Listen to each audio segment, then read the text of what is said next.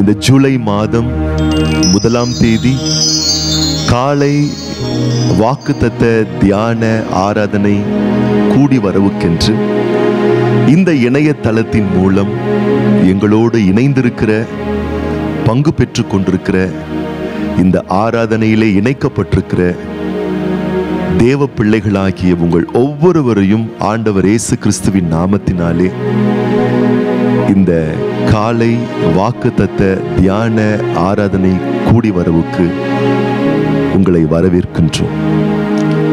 இந்த வருடத்தை துவக்கிய அநேகர் இன்றைக்கு இல்லை.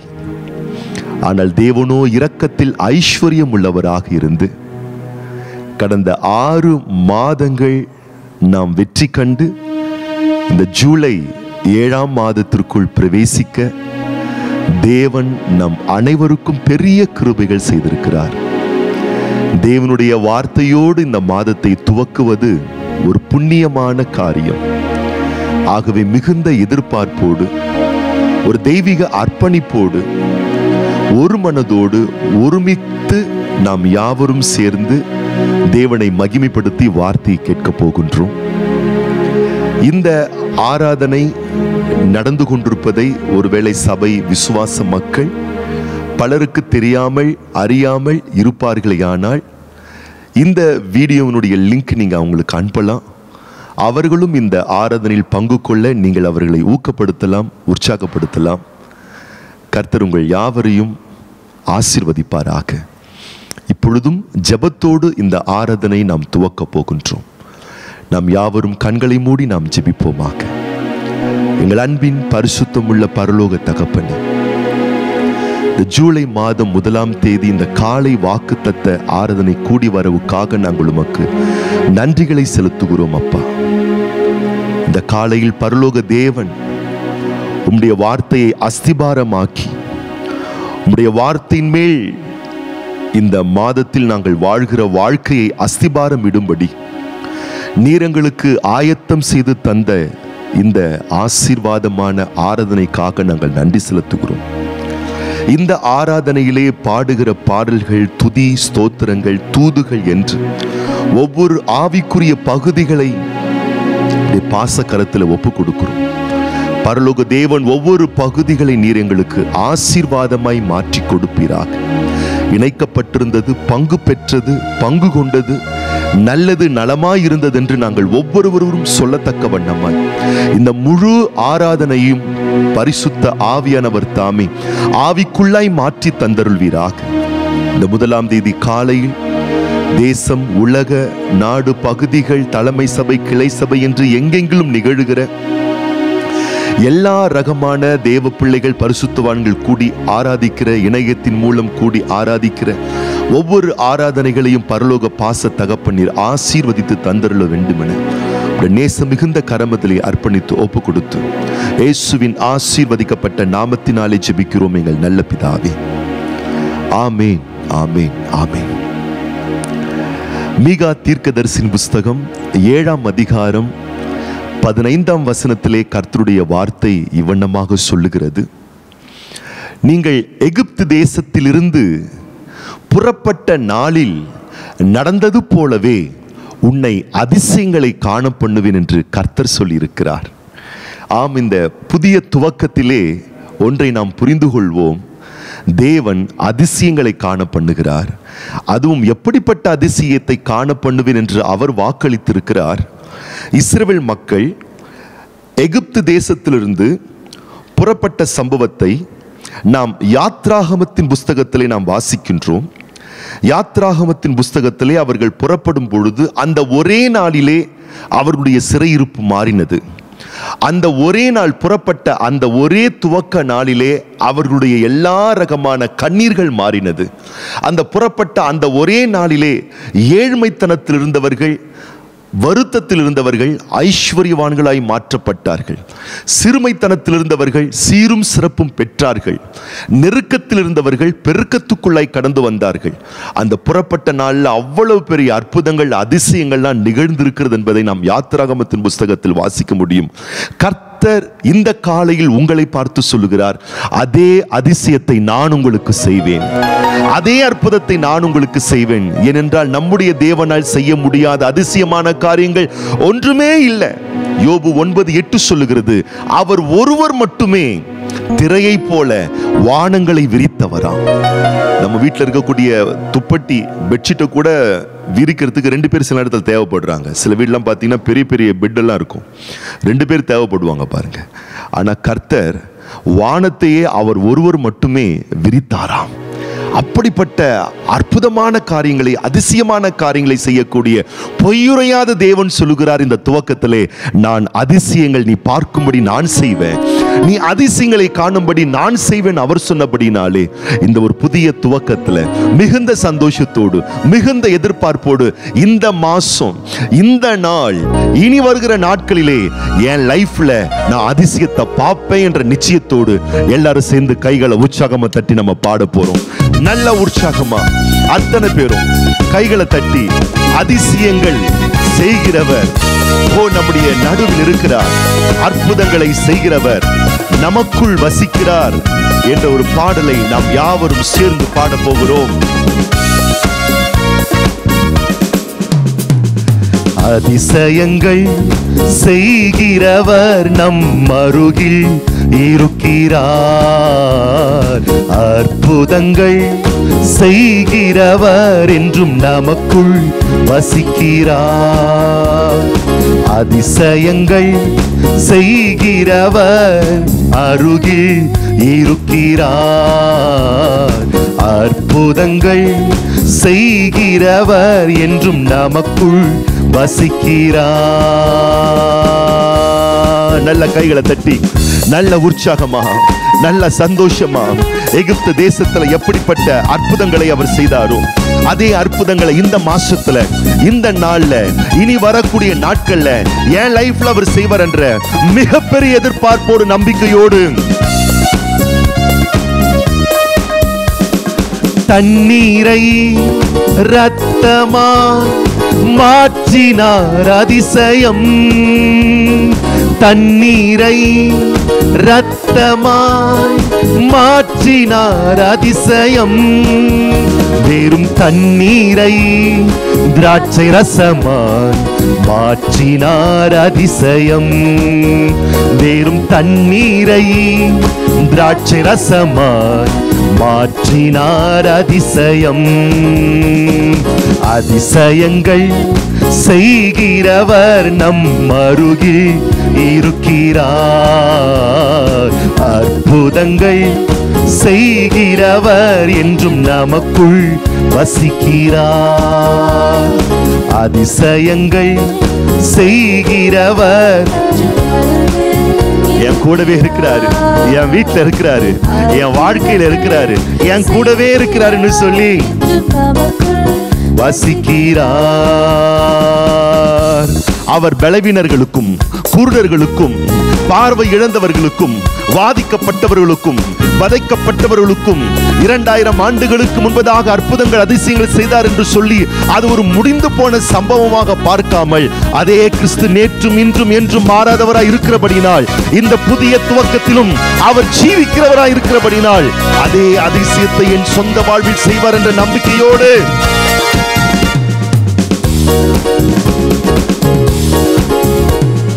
குருடருக்கும் செவிடருக்கும் சுகம் தந்தார் அதிசயம்.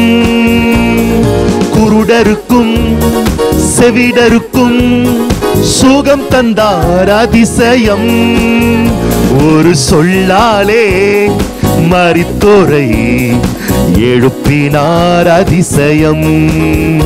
ஒரு சொல்லாலே மறித்தோரை எழுப்பினார் அதிசயம்.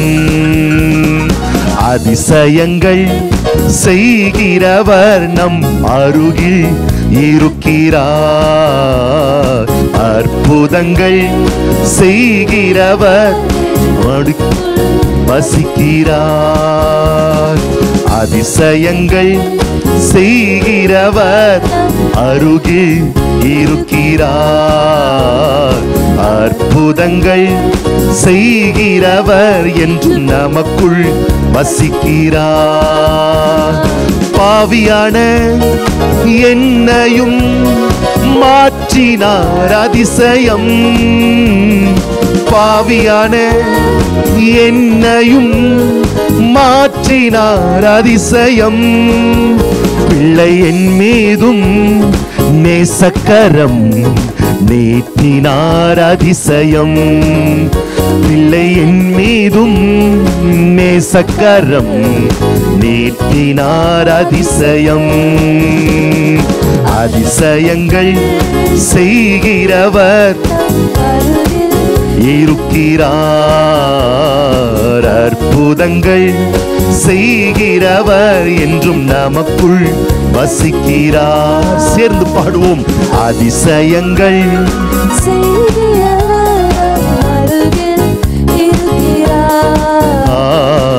அற்புதங்கள்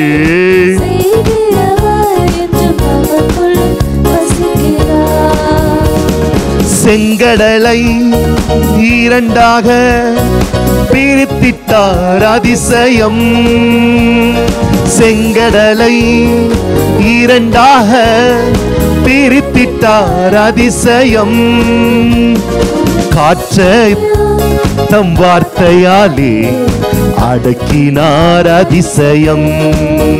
புயல் காற்றை தம் வார்த்தையாலே அடக்கினார் அதிசயம்.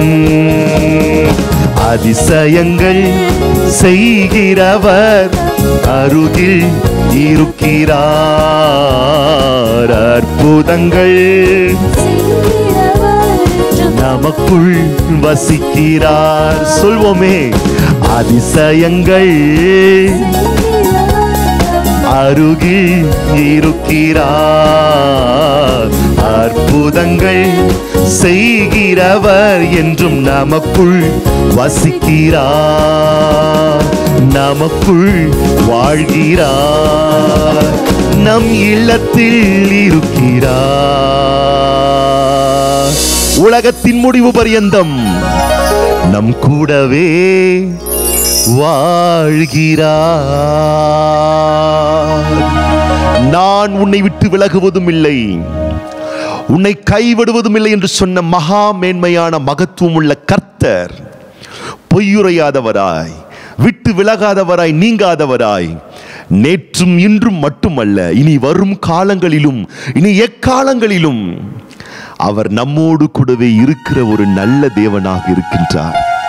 அவர் எங்கெல்லாம் இருந்தாரோ அங்கெல்லாம் அற்புதம். அவர் எங்கெல்லாம் இருந்தாரோ அங்கெல்லாம் அதிசயம். அவர் எங்கெல்லாம் இருந்தாரோ அங்கெல்லாம் ஆசீர்வாதம். நான் சொல்லுகிறேன் இந்த காலையிலே அவர் உங்களோடு கூடவே இருக்கிறார். அவர் உங்கள் வீட்டில் இருக்கிறார். அவர் உங்கள் வாசஸ்தலத்தில் இருக்கிறார். அவர் உங்களுடைய எல்லா வாழ்க்கை பயணத்திலேயும் அவர் உங்களோடு கூடவே இருக்கிறபடினால் இனி உங்கள் வாழ்நாள் முழுவதும் அதிசயங்களும் அற்புதங்களும் ஆசீர்வாதங்களும் ஆச்சரியமாய் நீங்கள் காணப்படக்கூடிய அளவுக்கு காணத்தக்க வகையில் தேவன் செய்கிறவராகவும் செயல்படுத்தக்கூடியவராகவும் இருக்கின்றபடியினாலே இருக்கிற நிலையில் ஒவ்வொருத்தரும் அன்னைக்கு செங்கடலை பிறந்தாரு அன்னைக்கு யோர்தான தகர்த்தாரு அன்னைக்கு எரிகோவை உடைச்சு போட்டாரு அன்னைக்கு அன்னைக்கின்ற வார்த்தையை மாற்றி இன்னைக்கு அதை செய்வார். இப்போ அதை செய்வார். சில பேர்லாம் சொல்லலாம் என்னைக்கு செய்வாரோ? எப்போ செய்வாரோ? நீங்கள் விசுவாசித்தா நீங்கள் சொல்லுங்க. இப்போ செய்வார். இன்னைக்கு செய்வார். ஏனென்றால் தேவன் நேற்றைய தேவன் மட்டுமல்ல அவர் இன்றைய தேவனாக இருக்கிறார். எத்தனை பேர் இந்த புதிய மாதத்துல இந்த ஒரு புதிய துவக்கத்துல இந்த புதிய காலை வேளையில எத்தனை பேர் நம்ம சொல்ல போறோம்? இன்று முதல் உன்னை ஆசீர்வதிப்பேன் என்று சொன்ன கர்த்தர் நாம் வழிபடுகிற தேவனாக இருக்கிறபடியினாலே இன்னைக்கு ஒரு அற்புதத்தை நான் எதிர்பார்க்கிறேன். இன்னைக்கு ஒரு அதிசயத்தை நான் எதிர்பார்க்கிறேன். என்னாகுமோ ஏதாகுமோ என்று அல்ல. என் வாழ்வுக்கு என் தேவன் நலமானவைகளை என்றென்றும் செய்யக்கூடியவராய் இருக்கிறபடியினாலே எத்தனை கொந்தளிப்புகள் பாதகமான நிலைகள் ஆயிரம் விஷயம் இருக்கலாங்க. நான் நான் சொல்றேன் உங்களுக்கு எல்லாம் சாதகமா தான் முடியும். ஏன்னா இம்மானுவேல் உங்களோடு கூடவே இருக்கிறார். இம்மானுவேல் தேவன் உங்களோடு கூடவே இருக்கிறார். அப்போ நடபடிகளின் புஸ்தகம். இருபத்தி எட்டாம் அதிகாரத்தை நான் வாசிக்கும் பொழுது அங்கே அப்போஸ்தலனாகிய பவுல் சில விறகுகளை அவன் பொறுக்கி எடுத்து குளிர் காய்வதற்காக நெருப்பில் போடும் பொழுது வேதவசனம் சொல்லுகிறது ஒரு விரியன் பாம்பு அவனுடைய கையை கவ்வி கொண்டது. ஒரு சர்பம் அவன் கையை பிடித்து கொண்டது. அவன் நினைக்கல பவுல் தேவதாசன் தேவனை நம்பி வாழக்கூடிய ஒரு அப்போஸ்தலன் தேவநாம மகிமைக்காக ஜீவிக்கக்கூடிய ஒரு மேன்மையான ஒரு தேவ புதல்வன். அவர் நினச்சி பார்க்கல ஒரு சர்ப்பம் வந்து என்னை கடிக்கும் ஒரு பாம்பு வந்து அதுவும் விரியன் பாம்பு. அது வந்து மிகப்பெரிய அது எப்படி சொல்லப்பட்டிருக்குன்னு அது அப்படியே சீறி கொண்டு அப்படியே அது அவனை அப்படியே பிடிச்சிக்குது கேட்ச் பண்ணிடுது அவன் நினச்சி கூட பார்க்கல. நான் சொல்லுகிறேன் இந்த காலையில் பல வகையான எதிர்மறையான விஷயங்கள் நீங்கள் எதிர்பார்த்திருக்கவே மாட்டீங்க. உங்களை வந்து அப்படியே அது கேட்ச் பண்ண மாதிரி இருக்கும். சில இழப்புகள் சில பாதகமான நிலைகள் பல வகையான தீங்குகள் பொல்லாப்புகள் வருத்தங்கள் பற்றாக்குறைகள் அப்படியே வந்து உங்களை கேட்ச் பண்ணி பிடிச்ச மாதிரி இருக்கலாம் சில சூழ்நிலைகள். அப்படிதான் பவுளை வந்து பிடிச்சிக்கிச்சு. இப்போ பவுனுடைய லைஃப்பில் அவன் கையில் அந்த விரியன் பாம்பு இருக்கிறத அவனை சூழ்ந்திருக்கக்கூடிய எல்லா மக்களும் பார்த்து இப்போ அவனை குறித்து தப்பாக பேசுகிறாங்க தவறாக பேசுகிறாங்க இருபத்தெட்டு அதிகாரத்தை நீங்கள் தொடர்ந்து வாசிச்சிங்கன்னா அந்த ஊரில் இருக்கக்கூடிய மக்கள் பார்த்து சொல்கிறாங்க இவன் பொல்லாதவனாக இருப்பான் போல் இருக்கு. இவன் தப்பான ஆள் போல் இருக்கு. குற்றம் புரிந்தவன் போல் இருக்கு. கேடு கெட்டவன் போல் இருக்குது என்ன பாவம் பண்ணான்னு தெரியல என்ன குற்றம் பண்ணான்னு தெரியல என்ன அயோக்கியத்தனம் பண்ணான்னு தெரியல. அவன் நாடு விட்டு நாடு கடந்தும் கப்பல் விட்டு கப்பல் கடந்தும் ஊர் விட்டு ஊர் வந்தும் தேசம் விட்டு தேசம் வந்தும் சாபம் அவனை பின்தொடர்கிறது. பழையவனை பின்தொடர்கிறது. தீமை அவனை பின்தொடர்கிறது. ஏதோ தப்பு பண்ணியிருக்கான் அதான் அவன் லைஃப்ல கஷ்டப்படுறான். ஏதோ அவன் ஜீவியம் சரியில்லை. அதனால தான் அவன் பாதிக்கப்படுறான் ஏதோ அவனுடைய லைஃப்ல ஒரு மோசமான அந்தரங்க ஜீவியத்தில் வாழ்க்கை கேடுகெட்டு போயிருக்கு. அதனால தான் இவ்வளவு விதமான சித்திரவாதைகளை அவன் அனுபவிக்கிறான்னு சொல்லி அவனை பார்க்கக்கூடியவர்கள் அவனை தவறாய் பேசுகிறார்கள். நான் சொல்லுகிறேன் ஒருவேளை இன்னைக்கு கூட இந்த சமூகம் இந்த சமுதாயம் உங்க கூட இருக்கிறவங்க உங்களை தப்பா புரிஞ்சுக்கலாம். உங்களை பற்றி தப்பு தப்பாக பேசலாம். ஏன் உங்களுக்கு இந்த வியாதி வரணும்? ஏன் உங்களுக்கு இந்த கஷ்டம் வரணும்? ஏன் உங்களுக்கு இந்த காய்ச்சல் வரணும்? ஏன் உங்களுக்கு இந்த பலவீனம் வரணும்? ஏன் உங்களுக்கு இந்த உபத்திரம் வரணும்? ஆண்டவர் தானே நம்புறேன்றாங்க. ஆனால் இவங்க ஜீவியம் சரியில்லை. மறைக்கிறாங்க. அந்தரங்கத்தில் ஏதோ தப்பு இருக்குது குற்றம் இருக்குது பொல்லாதவங்க போல இருக்குது ஆகவே தான் சில குற்ற செயல்கள் இவங்க ஈடுபடுறதுனால தான் பாதிக்கப்படுறாங்க சங்கடப்படுத்தப்படுறாங்க. இவர்களை சாபம் பின்தொடர்ந்து கொண்டே இருக்கிறது என்று சொல்லி கூட அநேகர் தவறாய் புரிந்து கொண்டு தப்பாக பேசலாம். ஆனால் நான் இன்றைக்கு தீர்க்க தரிசனமாக உங்களை பார்த்து நான் சொல்லுகிறேன். அப்படிப்பட்ட சூழ்நிலையில் இருப்பீர்களே ஆனால் உங்களுக்கு கர்த்தர் ஒரு பெரிய அதிசயத்தை செய்ய போகிறார். இருபத்தி எட்டாம் அதிகாரம் சொல்லுகிறது எந்த நபர்கள் பவுளை தவறாக பேசினார்களோ அவங்களுக்கு முன்னாடி ஒரு பெரிய அதிசயம் நடக்குதுங்க. அவங்களாம் பார்த்துக்கிட்டு இருக்காங்க சர்பம் அவனை பிடிச்சிச்சு. விஷம் அவன் உடம்புக்குள்ள ஏறிடுச்சு. ஆகவே அவன் வீங்கி போயிடுவான் அவன் கை காலெல்லாம் இப்போ வீங்கி போயிடும் கீழே விழுந்து தொப்புன்னு விழுந்து செத்துருவான். அநேக உனக்கு உன் நன்மை விரும்பாத அநேகர் நீ விழுந்துருவன்னு பார்த்துக்கிட்டு இருக்காங்க. உன் நன்மை விரும்பாத அநேகர் கடந்த நாட்களிலே கடந்த மாதத்திலே இவன் கீழே விழுந்துருவான். இவன் விழுந்து போயிடுவான் இதோட இவன் வாழ்க்கை முடிஞ்சு போச்சுன்னு சொல்லி கூட அநேகர் உங்களை ரெண்டு கண்லையும் விளக்கண்ணை ஊற்றி பார்த்துக்கிட்டு இருக்கலாம். எப்போ இவங்களுக்கு வியாதி வரும் எப்போ இவங்க நாசமாக போவாங்க எப்போ இவங்க பேர் கெட்டு போகும் எப்போ இவங்க விளங்காமல் போவாங்க எப்போ இவங்க ஊழியம் படுத்துகிறோம் எப்போ இவங்க தொழில் படுத்துறோம் எப்போ இவங்க பிஸ்னஸ் படுத்துகிறோம் நிறைய பேர் பார்த்துக்கிட்டு இருக்கலாம். நான் சொல்லுகிறேன் அப்படிப்பட்ட சவாலை நீங்கள் சந்திக்கக்கூடியவர்களாக இருப்பீர்களே ஆனால் உங்களுக்கு கர்த்தர் ஒரு அதிசயத்தை செய்ய போகிறார். வேதம் சொல்லுகிறது இவன் விழுந்து போவான் என்று அத்தனை மக்களும் பார்த்து கொண்டிருக்கக்கூடிய நேரத்திலே பவுல் அந்த சர்பத்தை உதறி போட்டான். வசனம் சொல்லுகிறது. அதை உதறி போட்டு ஒரு தீங்கும் ஒரு சேதமும் அணுகாமல் அவன் ரொம்ப பெஸ்டா இருக்கிறானா? ஆரோக்கியமா இருக்கிறானா? நான் சொல்றேன் கரங்களை தட்டி ஆண்டவரை மகிமப்படுத்துங்க. உன் சத்துருக்களுக்கு முன்பதாகவே இந்த மாதம் இந்த நாள் நீ மிகுந்த மிகப்பெரிய பதவி உயர்வுகளை பெற்றுக்கொள்ளக்கூடிய ஒரு மாதமாய் நாளாய் இந்த மாதம் உனக்கு அதிசயமாய் அமையும். கர்த்தரதை உனக்கு அமைத்து கொடுப்பார். இந்த அதிகாரத்தை போன வாரத்தில் நான் வாசிக்கும் பொழுது எனக்கு ரொம்ப ரொம்ப எனக்கு என்னை கவர்ந்த ஒரு வசனம் என்னன்னு கேட்டிங்கன்னா இந்த அப்போ சிலர் இருபத்தெட்டில் யாரெல்லாம் அவனை தப்பாக பேசுனாங்களோ அவங்கெல்லாம் இவன் ட்ராவல் பண்ணி போகும்போது அவனுடைய தேவைகளுக்கு வேண்டியதெல்லாம் கொடுத்து அனுப்புனாங்களாம். அவனுக்கு வேண்டியதெல்லாம் அவங்க கொடுத்து அனுப்புனாங்க அப்படின்னு அப்போ சிலர் இருபத்தெட்டில் சொல்லப்பட்டிருக்கு பாருங்க. அப்போ சில இருபத்தெட்டு பத்தில் சொல்லப்பட்டிருக்கு. அவர்கள் எங்களுக்கு அநேக மரியாதை செய்து யார் மரியாதை செஞ்சாங்களாம் இவன் பொல்லாதவன் இவன் கெட்டவன் இவன் மோசமானவன் இவன் விழுந்துருவான் இவன் செத்துருவான் விளங்காம போயிடுவான் யாரெல்லாம் பார்த்துக்கிட்டு இருந்தாங்களோ சொல்லிட்டு இருந்தாங்களோ அவர்கள் பவுலுக்கு மரியாதை செய்தார்களாம். விசுவாசியுங்கள் எவர்கள் உன்னை பகைத்தார்களோ அவர்கள் உன்னை மதிக்க போகிறார்கள். அவர்கள் உன்னை மதிக்கக்கூடிய அளவுக்கு தேவன் செய்வார். மரியாதை செய்து நாங்கள் கப்பல் ஏறி போகிற போது எங்களுக்கு தேவையானவைகளை எல்லாம் ஏற்றினார்கள். தீர்க்க தரிசனமாக சொல்லுகிறேன் இந்த மாதம் நீ சம்பாதிக்காத பல நன்மைகளை ஆண்டவர் உன்னுடைய வீட்டில் ஏற்றி உனக்கு கொடுக்க போகிறார். நீ பிரயாசப்படாத பல ஆசீர்வாதங்களை தேவனாகிய கர்த்தர் உனக்கு கொட்டி குவிக்க போகிறார். நீ விதைக்காத பல அற்புதமான விஷயங்களை நீ அறுவடை செய்ய போகிறார். ஆண்டவராக இயேசு கிறிஸ்து சிலுவையில் விதைத்ததை நீ இந்த மாசம் உன்னுடைய லைஃப்ல அறுவடையை பெற்று அனுபவிக்க போகிறாய். உன்னால் இந்த வார்த்தை விசுவாசிய குடுமையானால் தண்ணீரை இரத்தமாய் மாற்றினார் அதிசயம். வெறும் தண்ணீரை திராட்சை ரசமாய் மாற்றினார் அதிசயம். பாடணும் இல்லையா? அதே தேவன் உன் வருத்தம் உன் வேதனை உன் துன்பம் உன் சங்கடம் உன் நெருக்கம் எல்லாவற்றையும் முழுவதும் மாற்றி பலவிதமான நன்மையான காரியங்களை உன்னுடைய லைஃப்பில் அவர் துவக்க போகிறார் என்ற ஒரு நம்பிக்கை இருக்குமே ஆனால் ஒவ்வொருவரும் விசுவாசமான ஒரு உள்ளத்தோடு அதிசயங்கள் செய்கிறவர் என் அருகில் இருக்கிறார்.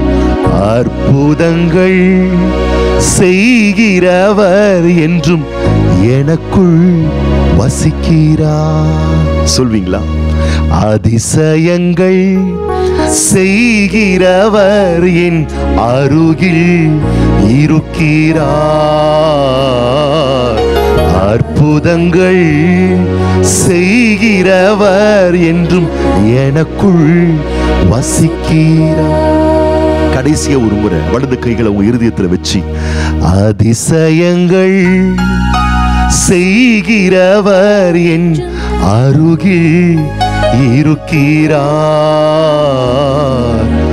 அற்புதங்கள் செய்கிறவர் என்றும் எனக்குள் வசிக்கிறார்.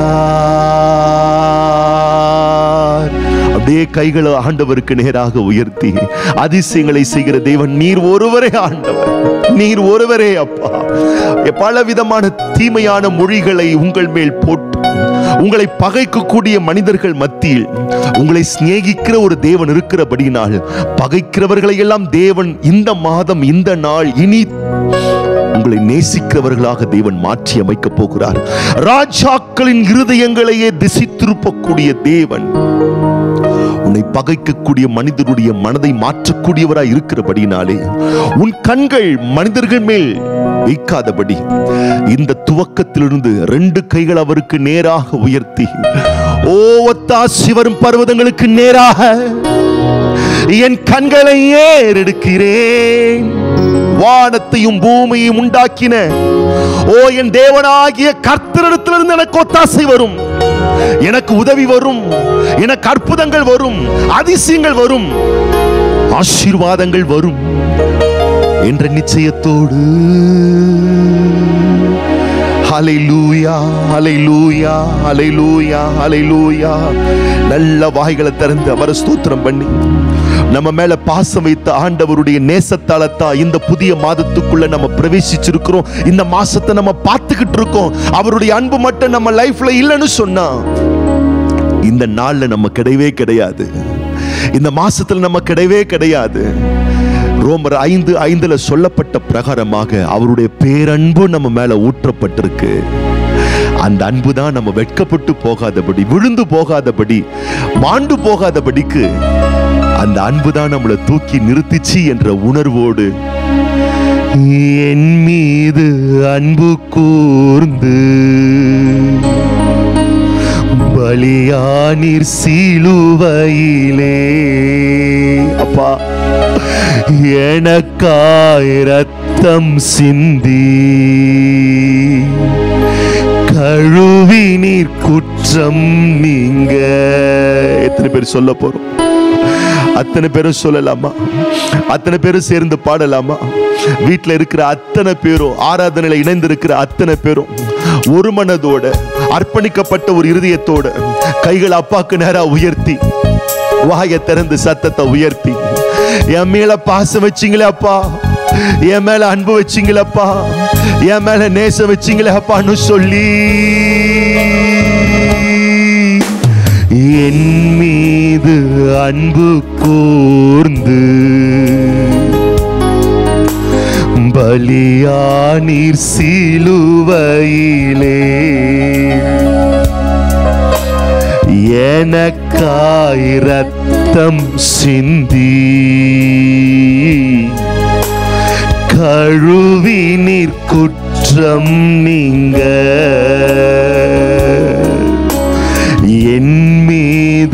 அன்பு கூர்ந்து. பலியானி சிலுவையிலே. எனக்காய் ரத்தம் சிந்தி. கழுவி நீர் குற்றம் நீங்க.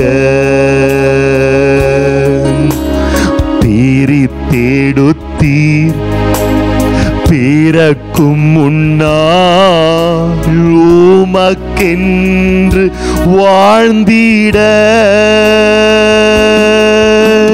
பிரித்தெடுத்தீர் நான் பிறக்கும் முன்னால் உமக்கென்று வாழ்ந்திட. கைகளை அசைத்து ஆராதனை உமக்கே. அனுதினமும் உமக்கே அப்பா ஆராதனை உமக்கே அனுதினமும் உமக்கே பிதாவான என் தேவனே தகப்பனே என் தந்தையே பிதாவான என் தேவனே தகப்பனே என் தந்தையே மாட்சிமையும் மகத்துவமும் உமக்குத்தானே என்றென்றைக்கும் சொல்வோமா? மாட்சிமையும் மகத்துவமும் உமக்குத்தானே என்றென்றைக்கும் வல்லமையும்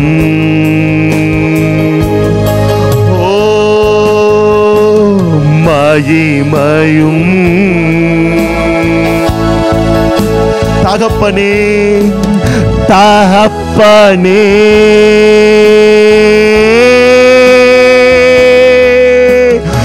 உமக்குத்தானே. வல்லமை வல்லமையும் மகிமையும். மகிமையும். அப்பா தகப்பனே.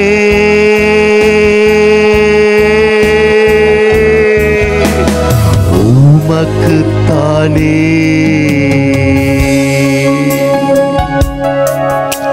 ஓ இவர் எவ்வளவு நல்ல கர்த்தர். ஓ எத்தனை மதிப்புக்கும் மரியாதைக்கும் உரிய நல்ல கர்த்தர். எத்தனை பேருடைய அன்பு மாறினாலும் இவருடைய அன்பு நம்ம விட்டு மாறவே இல்லை என்ற புரிதலோடு. என் மீது அன்பு கூர்ந்து எனக்காக பலியானீர் சிலுவையிலே. எனக்காய் ரத்தம் சிந்தி. கழுவி நீர் குற்றம் நீங்க. என் மீது அன்பு கூர்ந்து பலியானிர் சிலுவையிலே. எனக்காக எனக்காய் ரத்தம் சிந்தி. கழுவி நீர் குற்றம் நீங்க. சேர்ந்து பாடுவோமா? பீரி தேடுத்தி பிறக்கும் முன்னால் உமக்கென்று வாழ்ந்திட. பேரி தேடுத்தி பிறக்கும் முன்னால் உமக்கு வாழ்ந்திட. ஆராதனை உமக்கே. அணுதினமும் உமக்கே. இனி வாழ்நாள் முழுவதும் ஆராதனை உமக்கே. அனுதினமும் உமக்கே ரெண்டு கைகள் அசைத்து ஆராதனைன்னு சொல்லி ஆராதனை.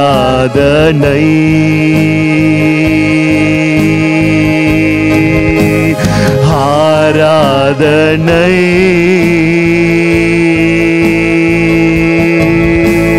தகப்பனே.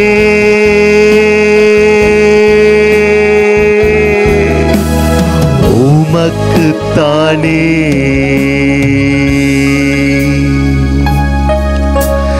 ராஜா உம்மாளிகையில்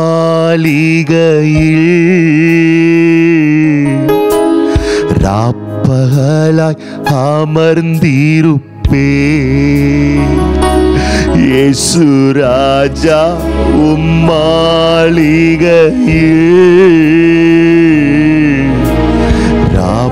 மகளாய் அமர்ந்திருப்பே. உம்மை துதித்து மகிழ்ந்திருப்பே. அவரை துதிக்க துதிக்க. எல்லா துயரம் மறந்திருப்பே. உம்மை தூதித்து மகிழ்ந்திருப்பே. எல்லா துயரம் மறந்திருப்பேன். ஆராதனை.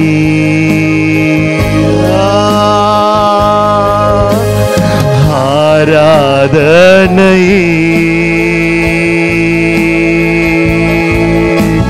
அப்பா அப்பா. உங்களுக்கு ஆராதனை ஆராதனை.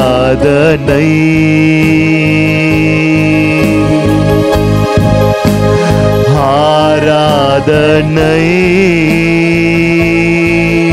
டடி அப்பா அப்பா.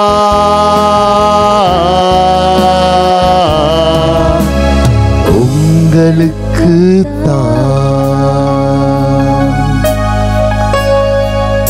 கர்த்தருக்கு புதுப்பாட்டை பாடுங்கள். பூமியின் குடிகளை எல்லாரும் கர்த்தரை பாடுங்கள். கர்த்தரை பாடி அவருடைய நாமத்தை ஸ்தோத்தரித்து நாளுக்கு நாள் அவருடைய ரட்சிப்பை சுவிசேஷமாய் அறிவியுங்கள். ஜாதிகளுக்குள் அவருடைய மகிமையையும் சகல ஜனங்களுக்குள்ளும் அவருடைய அதிசயங்களையும் விவரித்து சொல்லுங்கள். கர்த்தர் பெரியவரும் மிகவும் ஸ்தோத்தரிக்கப்படத்தக்கவருமாய் இருக்கிறார். எல்லா தேவர்களிலும் பயப்படத்தக்கவர் அவரே. சகல ஜனங்களுடைய தேவர்களும் விக்கிரகங்கள் தானே. கர்த்தரோ வானங்களை உண்டாக்கினவர் மகிமையும் கனமும் அவர் சமூகத்தில் இருக்கிறது. வல்லமையும் மகத்துவமும் அவர் பரிசுத்த ஸ்தலத்தில் உள்ளது ஜனங்களின் வம்சங்களே கர்த்தருக்கு மகிமையையும் வல்லமையையும் செலுத்துங்கள். கர்த்தருக்கே அதை செலுத்துங்கள். கர்த்தருக்கு அவருடைய நாமத்திற்குரிய மகிமையை செலுத்தி காணிக்கைகளை கொண்டு வந்து அவருடைய பிரகாரங்களில் பிரவேசியுங்கள். பரிசுத்த அலங்காரத்துடனே கர்த்தரை தொழுது கொள்ளுங்கள். பூலோகத்தாரே நீங்கள் யாவரும் அவருக்கு முன்பாக நடுங்குங்கள். பலனே.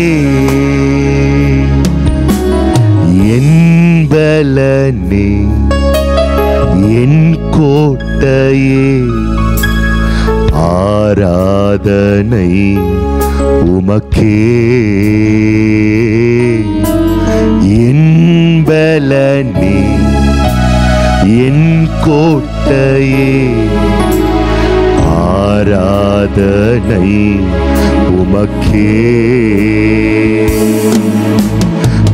உமரை விடமே என்னூரை விடமே. ஆராதனை உமக்கே. மறைவிடமே என் விடமே. ஆராதனை உமக்கே. ஆராதனை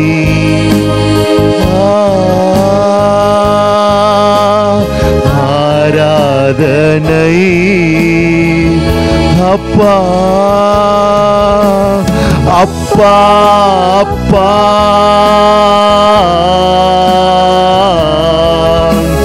உங்களுக்கு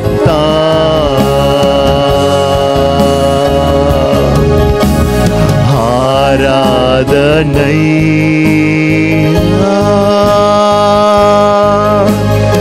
ஆராதனை. அப்பா அப்பா அப்பா.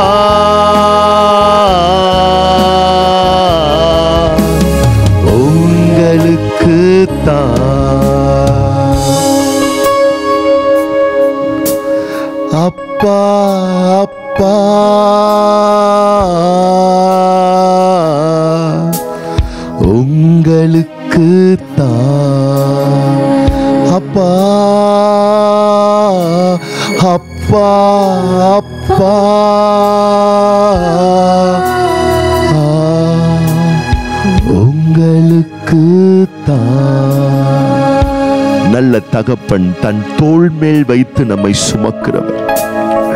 தன் மார்போடு நம்மை அணைத்துக் கொள்ளுகிறவர். இப்பூ உலகத்தின் தாய் தகப்பனை பார்க்கிலும் நம்மை மேலாய் நேசிக்கிறவர். நமக்கான அழகான தீர்மானங்களையும் அழகான வளப்பமான வருங்காலங்களையும் நேர்த்தியாய் வரைந்து நம்முடைய வருங்காலங்களை தன் கரங்களில் வைத்து எந்த சேதங்கள் சேதாரங்கள் தீமைகள் பிசாசின் வன்கண்கள் அணுகாதபடி கண்மலையின் மேல் நம்மை மறைத்து வைத்து தமது கரத்தால் மூடி இந்த நாள் இந்த நேரம் இந்த நிமிஷம் வரைக்கும் அவர் மறித்து இரண்டாயிரம் வருடங்களாக நமக்காக பரிந்து பேசிக் கொண்டிருக்கிறவராய் இருக்கிறார். அவருடைய மகத்துவ பிரசனத்தையும் அவருடைய மாறாத மகிமையையும் எண்ணி ரெண்டு கைகளை உயர்த்தி ஓ ஆராதனை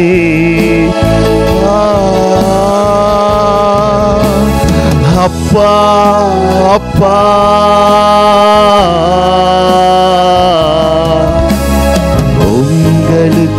உங்களுக்கு எங்கள் ஆவி ஆத்துமா சரீரம். எங்கள் முழுவதும் நாங்கள் சரணாகதி ஆக்குகிறோம் இம்மட்டும் நடத்தியவர் இனிமேலும் மேன்மையை நடத்தும். சகல மகிமை கணம் துதி ஸ்தோத்திரங்கள் உமக்கே ஏறெடுத்து எங்களை தாழ்த்தி முடிய தெய்வீக சமூகத்தில் அர்ப்பணித்து சகல மகிமை ஆராதனைகளை ஏசு கிறிஸ்துவின் மூலமாய் செலுத்துகிறோம் எங்கள் நல்ல தகப்பனே. ஆமே பிரியமானவர்களே ஒரு புதிய மாதத்துக்குள் நாம் பிரவேசித்திருக்கிறோம். இந்த ஜூலை என்கின்ற ஒரு ஏழாம் மாதத்தை தேவன் நமக்கு தந்திருக்கிறார். ஏழு என்பது எல்லாவற்றிலும் ஒரு சம்பூர்ண பரிபூர்ணத்தையே அது காண்பிக்கின்றது. எப்படி ஆபரகாமுக்கு ஆதியாகமத்தின் புஸ்தகம் பன்னிரெண்டாம் அதிகாரம் இரண்டாம் வசனம் மூன்றாம் வசனத்தில் ஏழு ஆசீர்வாதங்களை தந்து அவனுடைய விசுவாச வாழ்க்கை பயணத்தை தேவன் துவக்கினாரோ அதுபோலவே இந்த ஏழாவது மாதத்திலே ஏழு தரமான ஆசீர்வாதங்களை அதே ஆசீர்வாதம் ஆபரகாமுக்கு கொடுத்த ஆதிகாமத்தின் புஸ்தகம் பன்னிரெண்டாம் அதிகாரம் இரண்டாம் வசனம் மூன்றாம் வசனத்தில் அவனுக்கு அருளிய ஏனென்றால் ஆபரகம் நம்முடைய தகப்பன் அல்லவா? விசுவாச தகப்பன் அல்லவா? அந்த ஆசிர்களை அப்படியே உங்கள் வாழ்வில் அப்பட்டமாய் பழிக்க செய்து இந்த ஏழாம் மாதத்திலும் நீங்கள் பரிபூர்ணமாய் நீங்கள் வாழ்ந்திருக்கும்படி தேவன் செய்வாராக. நாம் அனைவரும் இப்பொழுது கண்களை மூடி நாம் ஜிபிக்கப் போகிறோம். இந்த ஜூலை மாதம் ஒருவேளை தேசத்தின் சட்டங்கள் சாதகமற்ற நிலைகள் தடை உத்தரவு சட்டங்கள் என்று ஆயிரம் விஷயங்கள் வித்தியாசமாக இருந்தாலும் நம்முடைய ஜெபத்தை கேட்கிற ஒரு தேவன் நமக்காக விசேஷித்த நன்மைகளை இந்த மாதத்தில் முன்குறித்து வைத்திருக்கிறபடினால் நம்முடைய பிளான் திட்டம் கொடுக்கல் வாங்கல் எல்லாவற்றையும் தேவ கரத்தில் அர்ப்பணித்து நம் கண்களை மூடி நாம் ஜெபிக்க போகிறோம். சேர்ந்து நாம் ஜெபிப்போம். எங்கள் மகத்துவம் உள்ள மகா பரிசுத்த தூய தகப்பனே இந்த ஜூலை மாதத்திலே இந்த மேன்மையான ஜெபத்தில் இணைக்கப்பட்டிருக்கிற ஒவ்வொருவருக்காக நான் பிரத்யேகமாக நான் ஜெபிக்கிறேன். இந்த மாதத்திலும் ஒரு அன்பு பிள்ளைகளுக்குள்ள பிளான் திட்ட தீர்மானம் ஆலோசனைகள் தொழில் சார்ந்த விஷயம் ஊழியங்கள் சார்ந்த விஷயம் படிப்புகள் சார்ந்த விஷயம் வருமானங்கள் சார்ந்த விஷயம் ஆவிக்குறி நல்வாழ்வுகளுக்கு அடுத்த விஷயம் என்று எல்லா நிலைகளிலேயும் தேவன் மேலான பெரிதான அதிசய அற்புதங்களை நிகழ செய்து கடந்த ஆறு மாதங்கள் கண்டிராத பெற்றிராத அனுபவித்திராத அற்புத அதிசய ஆசிரியர்கள் ஒவ்வொருடைய வாழ்வில் பரிபூர்ணமாய் தந்து நீதிமானுக்கு ஒரு கேடும் வராது என்ற வார்த்தையின் பிரகாரமாக சூழல்கள் பல வித்தியாசமாக இருந்தாலும் ஒரு கேடு அணுகாமல் விசேஷமாய் நீருமுடைய பிள்ளைகளை இந்த மாதத்தில் வழிநடத்தி அருள்வீராக. தேசத்தின் பாதக நிலைகள் மாறட்டும். இந்த கொரோனா வைரஸ் கொள்ளை நோயினுடைய தீவிரத்தன்மை முற்றுப்புள்ளிக்கு கொண்டு வரட்டும். அடக்கப்படட்டும். தேசத்திலே சாதகமான சமாதான சூழ்நிலைகள் உண்டாகட்டும். தேசத்தில் வாழ்கிற ஒவ்வொரு தேவ பிள்ளைகளும் சமாதான சுவாச காற்றை உணர்வார்களாக சுவாசிப்பார்களாக. நீர் முன் சென்று அற்புதமாய் கோணல்களை செவ்வையாக்கி அருமையாய் வழிநடத்தியறல வேண்டுமென எங்களுடைய எல்லா காரியங்களையும் உடைய தெய்வீக சமூகத்திலே உன்னத கரத்திலே அர்ப்பணித்து இயேசுவின் ஆசீர்வதிக்கப்பட்ட நாமத்தினாலே ஜெபிக்கிறோம் எங்கள் நல்ல பிதாவே. ஆமீன். அவண்ணமாகவே நம்முடைய ஆலயத்தில் ஒவ்வொரு மாதமும் சபை விசுவாசிகளுடைய பிறந்தநாள் விவாக நாட்களுக்காக நாம் ஜெபிப்பது வழக்கம். அதே போல் இந்த ஜூலை மாதம் முதலாம் தேதி துவங்கி முப்ப தேதி முடிய இருக்கக்கூடிய இந்த நாட்களில் விசேஷமாக பிறந்தநாள் காண்கின்ற விவாக நாள் திருமண நாட்கள் காண்கின்ற ஒவ்வொரு சகோதரர்களையும் சகோதரிகளையும் நாங்கள் வாழ்த்துகிறோம். கர்த்தரா இயேசு கிறிஸ்துவின் நாமத்தினாலே உங்கள் அனைவருக்கும் இந்த மாதம் பிறந்த நாள் விவாக நாள் காண்கின்ற உங்கள் அனைவருக்கும் பிறந்த நாள் திருமண நாள் வாழ்த்துக்களை நாங்கள் தெரிவித்துக் கொள்கின்றோம். ஆதியகமத்தின் புஸ்தகம் பன்னிரெண்டாம் அதிகாரம் இரண்டாம் மூன்றாம் வசனமே உங்களுக்கு வாக்கு தத்தங்களாக நான் உங்களுக்கு பிரகடனப்படுத்துகிறேன். அந்த வார்த்தையின்படியே இந்த ஆண்டு கர்த்தர் விசேஷமாக உங்களை ஆசீர்வதித்தருள்வாராக என்று நான் உங்களை வாழ்த்தி ஆசீர்வதிக்கிறேன். உங்களுடைய பிறந்த நாளுக்காக திருமண நாளுக்காக நான் விசேஷமாக இப்பொழுது நான் ஜெபிக்க விரும்புகின்றேன். எங்கள் அன்பின் பரிசுத்தம் உள்ள பரலோக தகப்பனே ஆண்டவர் இயேசுவின் நாமத்தினாலே மீண்டும் உடைய சமூகத்தில் நாங்கள் வருகின்றோம். இந்த ஜூலை மாதத்திலும் முதலாம் தேதி துவங்கி தேதி முடிய இந்த மாதத்தில் பிறந்த நாட்கள் திருமண நாட்கள் காணக்கூடிய எங்கள் அன்பு சகோதரர்களையும் எங்கள் அருமை சகோதரிகளையும் உடைய வார்த்தையை முன்னிட்டு நான் வாழ்த்துகின்றேன் அப்பா. ஆதியாகமத்தின் புஸ்தகம் பன்னிரெண்டாம் அதிகாரம் இரண்டாம் வசனம் மூன்றாம் வசனத்திலே ஆபரகாமுக்கு நீர் அருளிய ஏழு ஆசீர்வாதங்கள் இந்த ஜூலை ஏழாம் மாதத்தில் ஒவ்வொருவருடைய வாழ்வில் பரலோக தேவன் பழிக்க செய்து உம்முடைய வருகை வரும் மட்டும் இப்படிப்பட்ட அநேக அநேக பிறந்த நாட்கள் திருமண நாட்கள் உடைய பிள்ளைகளுடைய வாழ்வில் கர்த்தர் காண செய்து இந்த ஆண்டானது உடைய பிள்ளைகளுக்கு ஒரு விசேஷித்த ஆண்டாய் அமைந்தருள வேண்டுமென உமது நல்ல கரத்தில் ஒவ்வொருவரையும் நாங்கள் அர்ப்பணிக்கிறோம் வாழ்த்துக்கிறோம் ஆசீர்வதிக்கிறோம் ராஜா. நாங்கள் நினைச்சு கூட பார்க்கல. அப்படிப்பட்ட ஒரு மேன்மையான அற்புதங்கள் அதிசயங்கள் ஆசீர்வாதங்களை நாங்கள் கண்டோம் இந்த ஆண்டிலே என்று சொல்லக்கூடிய அளவுக்கு கர்த்தர் அதிசயங்களையும் அற்புதங்களையும் உது பிள்ளைகள் வாழ்வில் காண செய்து நாமத்திற்கு மைமர பண்ணி வரும் காலங்களை மகிழ்ச்சி நாட்களாக சாட்சியின் நாட்களாக ஆசீர்வாதத்தின் நாட்களாக ஆரோக்கியத்தின் நாட்களாக அதிசயத்தின் நாட்களாக உது பிள்ளைகளுடைய வாழ்விலே என் தேவனாகிய கர்த்தர் நிறைவேற்றி அருள வேண்டும் என நல்ல கருத்தில் ஒப்புக் கொடுக்கிறோம் ஒவ்வொருவரையும் மனதார வாழ்த்துக்கிறோம் ஆசீர்வதிக்கிறோம் பாசமிகுந்த கரமதில் அர்ப்பணித்து ஒப்புக் கொடுத்து பிரியமானவனே உன் ஆத்துமா வாழ்வது போல நீங்கள் எல்லாவற்றிலையும் வாழ்ந்து சுகமாய் இருப்பீர்களாக என்று ஒவ்வொருவரையும் வாழ்த்தி ஏசு கிறிஸ்துவின் ஆசீர்வதிக்கப்பட்ட நாமத்தினாலே ஜெபிக்கிறோம் எங்கள் நல்ல பிதாவே. ஆமேன். ஆம் அன்பானவர்களே நீங்கள் ஆசீர்வதிக்கப்பட்டவர்கள். உங்களுடைய பிறந்த நாளிலும் திருமண நாட்களிலும் விசேஷித்த ஆசிர்கள் உங்கள் வாழ்வில் சம்பூர்ணமாய் உண்டாயிருப்பதாக. இப்பொழுதும் இந்த ஜூலை மாதத்திற்கான வாக்குத்தத்த செய்தி நாம் கேட்கப் போகின்றோம். ஜெபத்தோடு அநேக ஆயத்தங்களோடு தேவன் அளித்த வாக்கு தத்தத்தை நான் உங்களுக்காக எடுத்துக்கொண்டு வந்திருக்கின்றேன். இப்பொழுதும் தேவனுடைய வாக்கு தத்த செய்தியை நாம் கேட்கப் போகின்றோம்.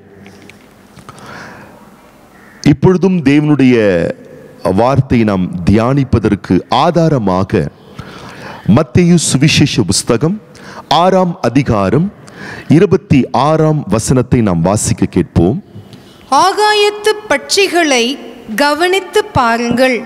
அவைகள் விதைக்கிறதும் இல்லை அறுக்கிறதும் இல்லை களஞ்சியங்களில் சேர்த்து வைக்கிறதும் இல்லை அவைகளையும் உங்கள் பரமபிதா பிழை போட்டுகிறார்.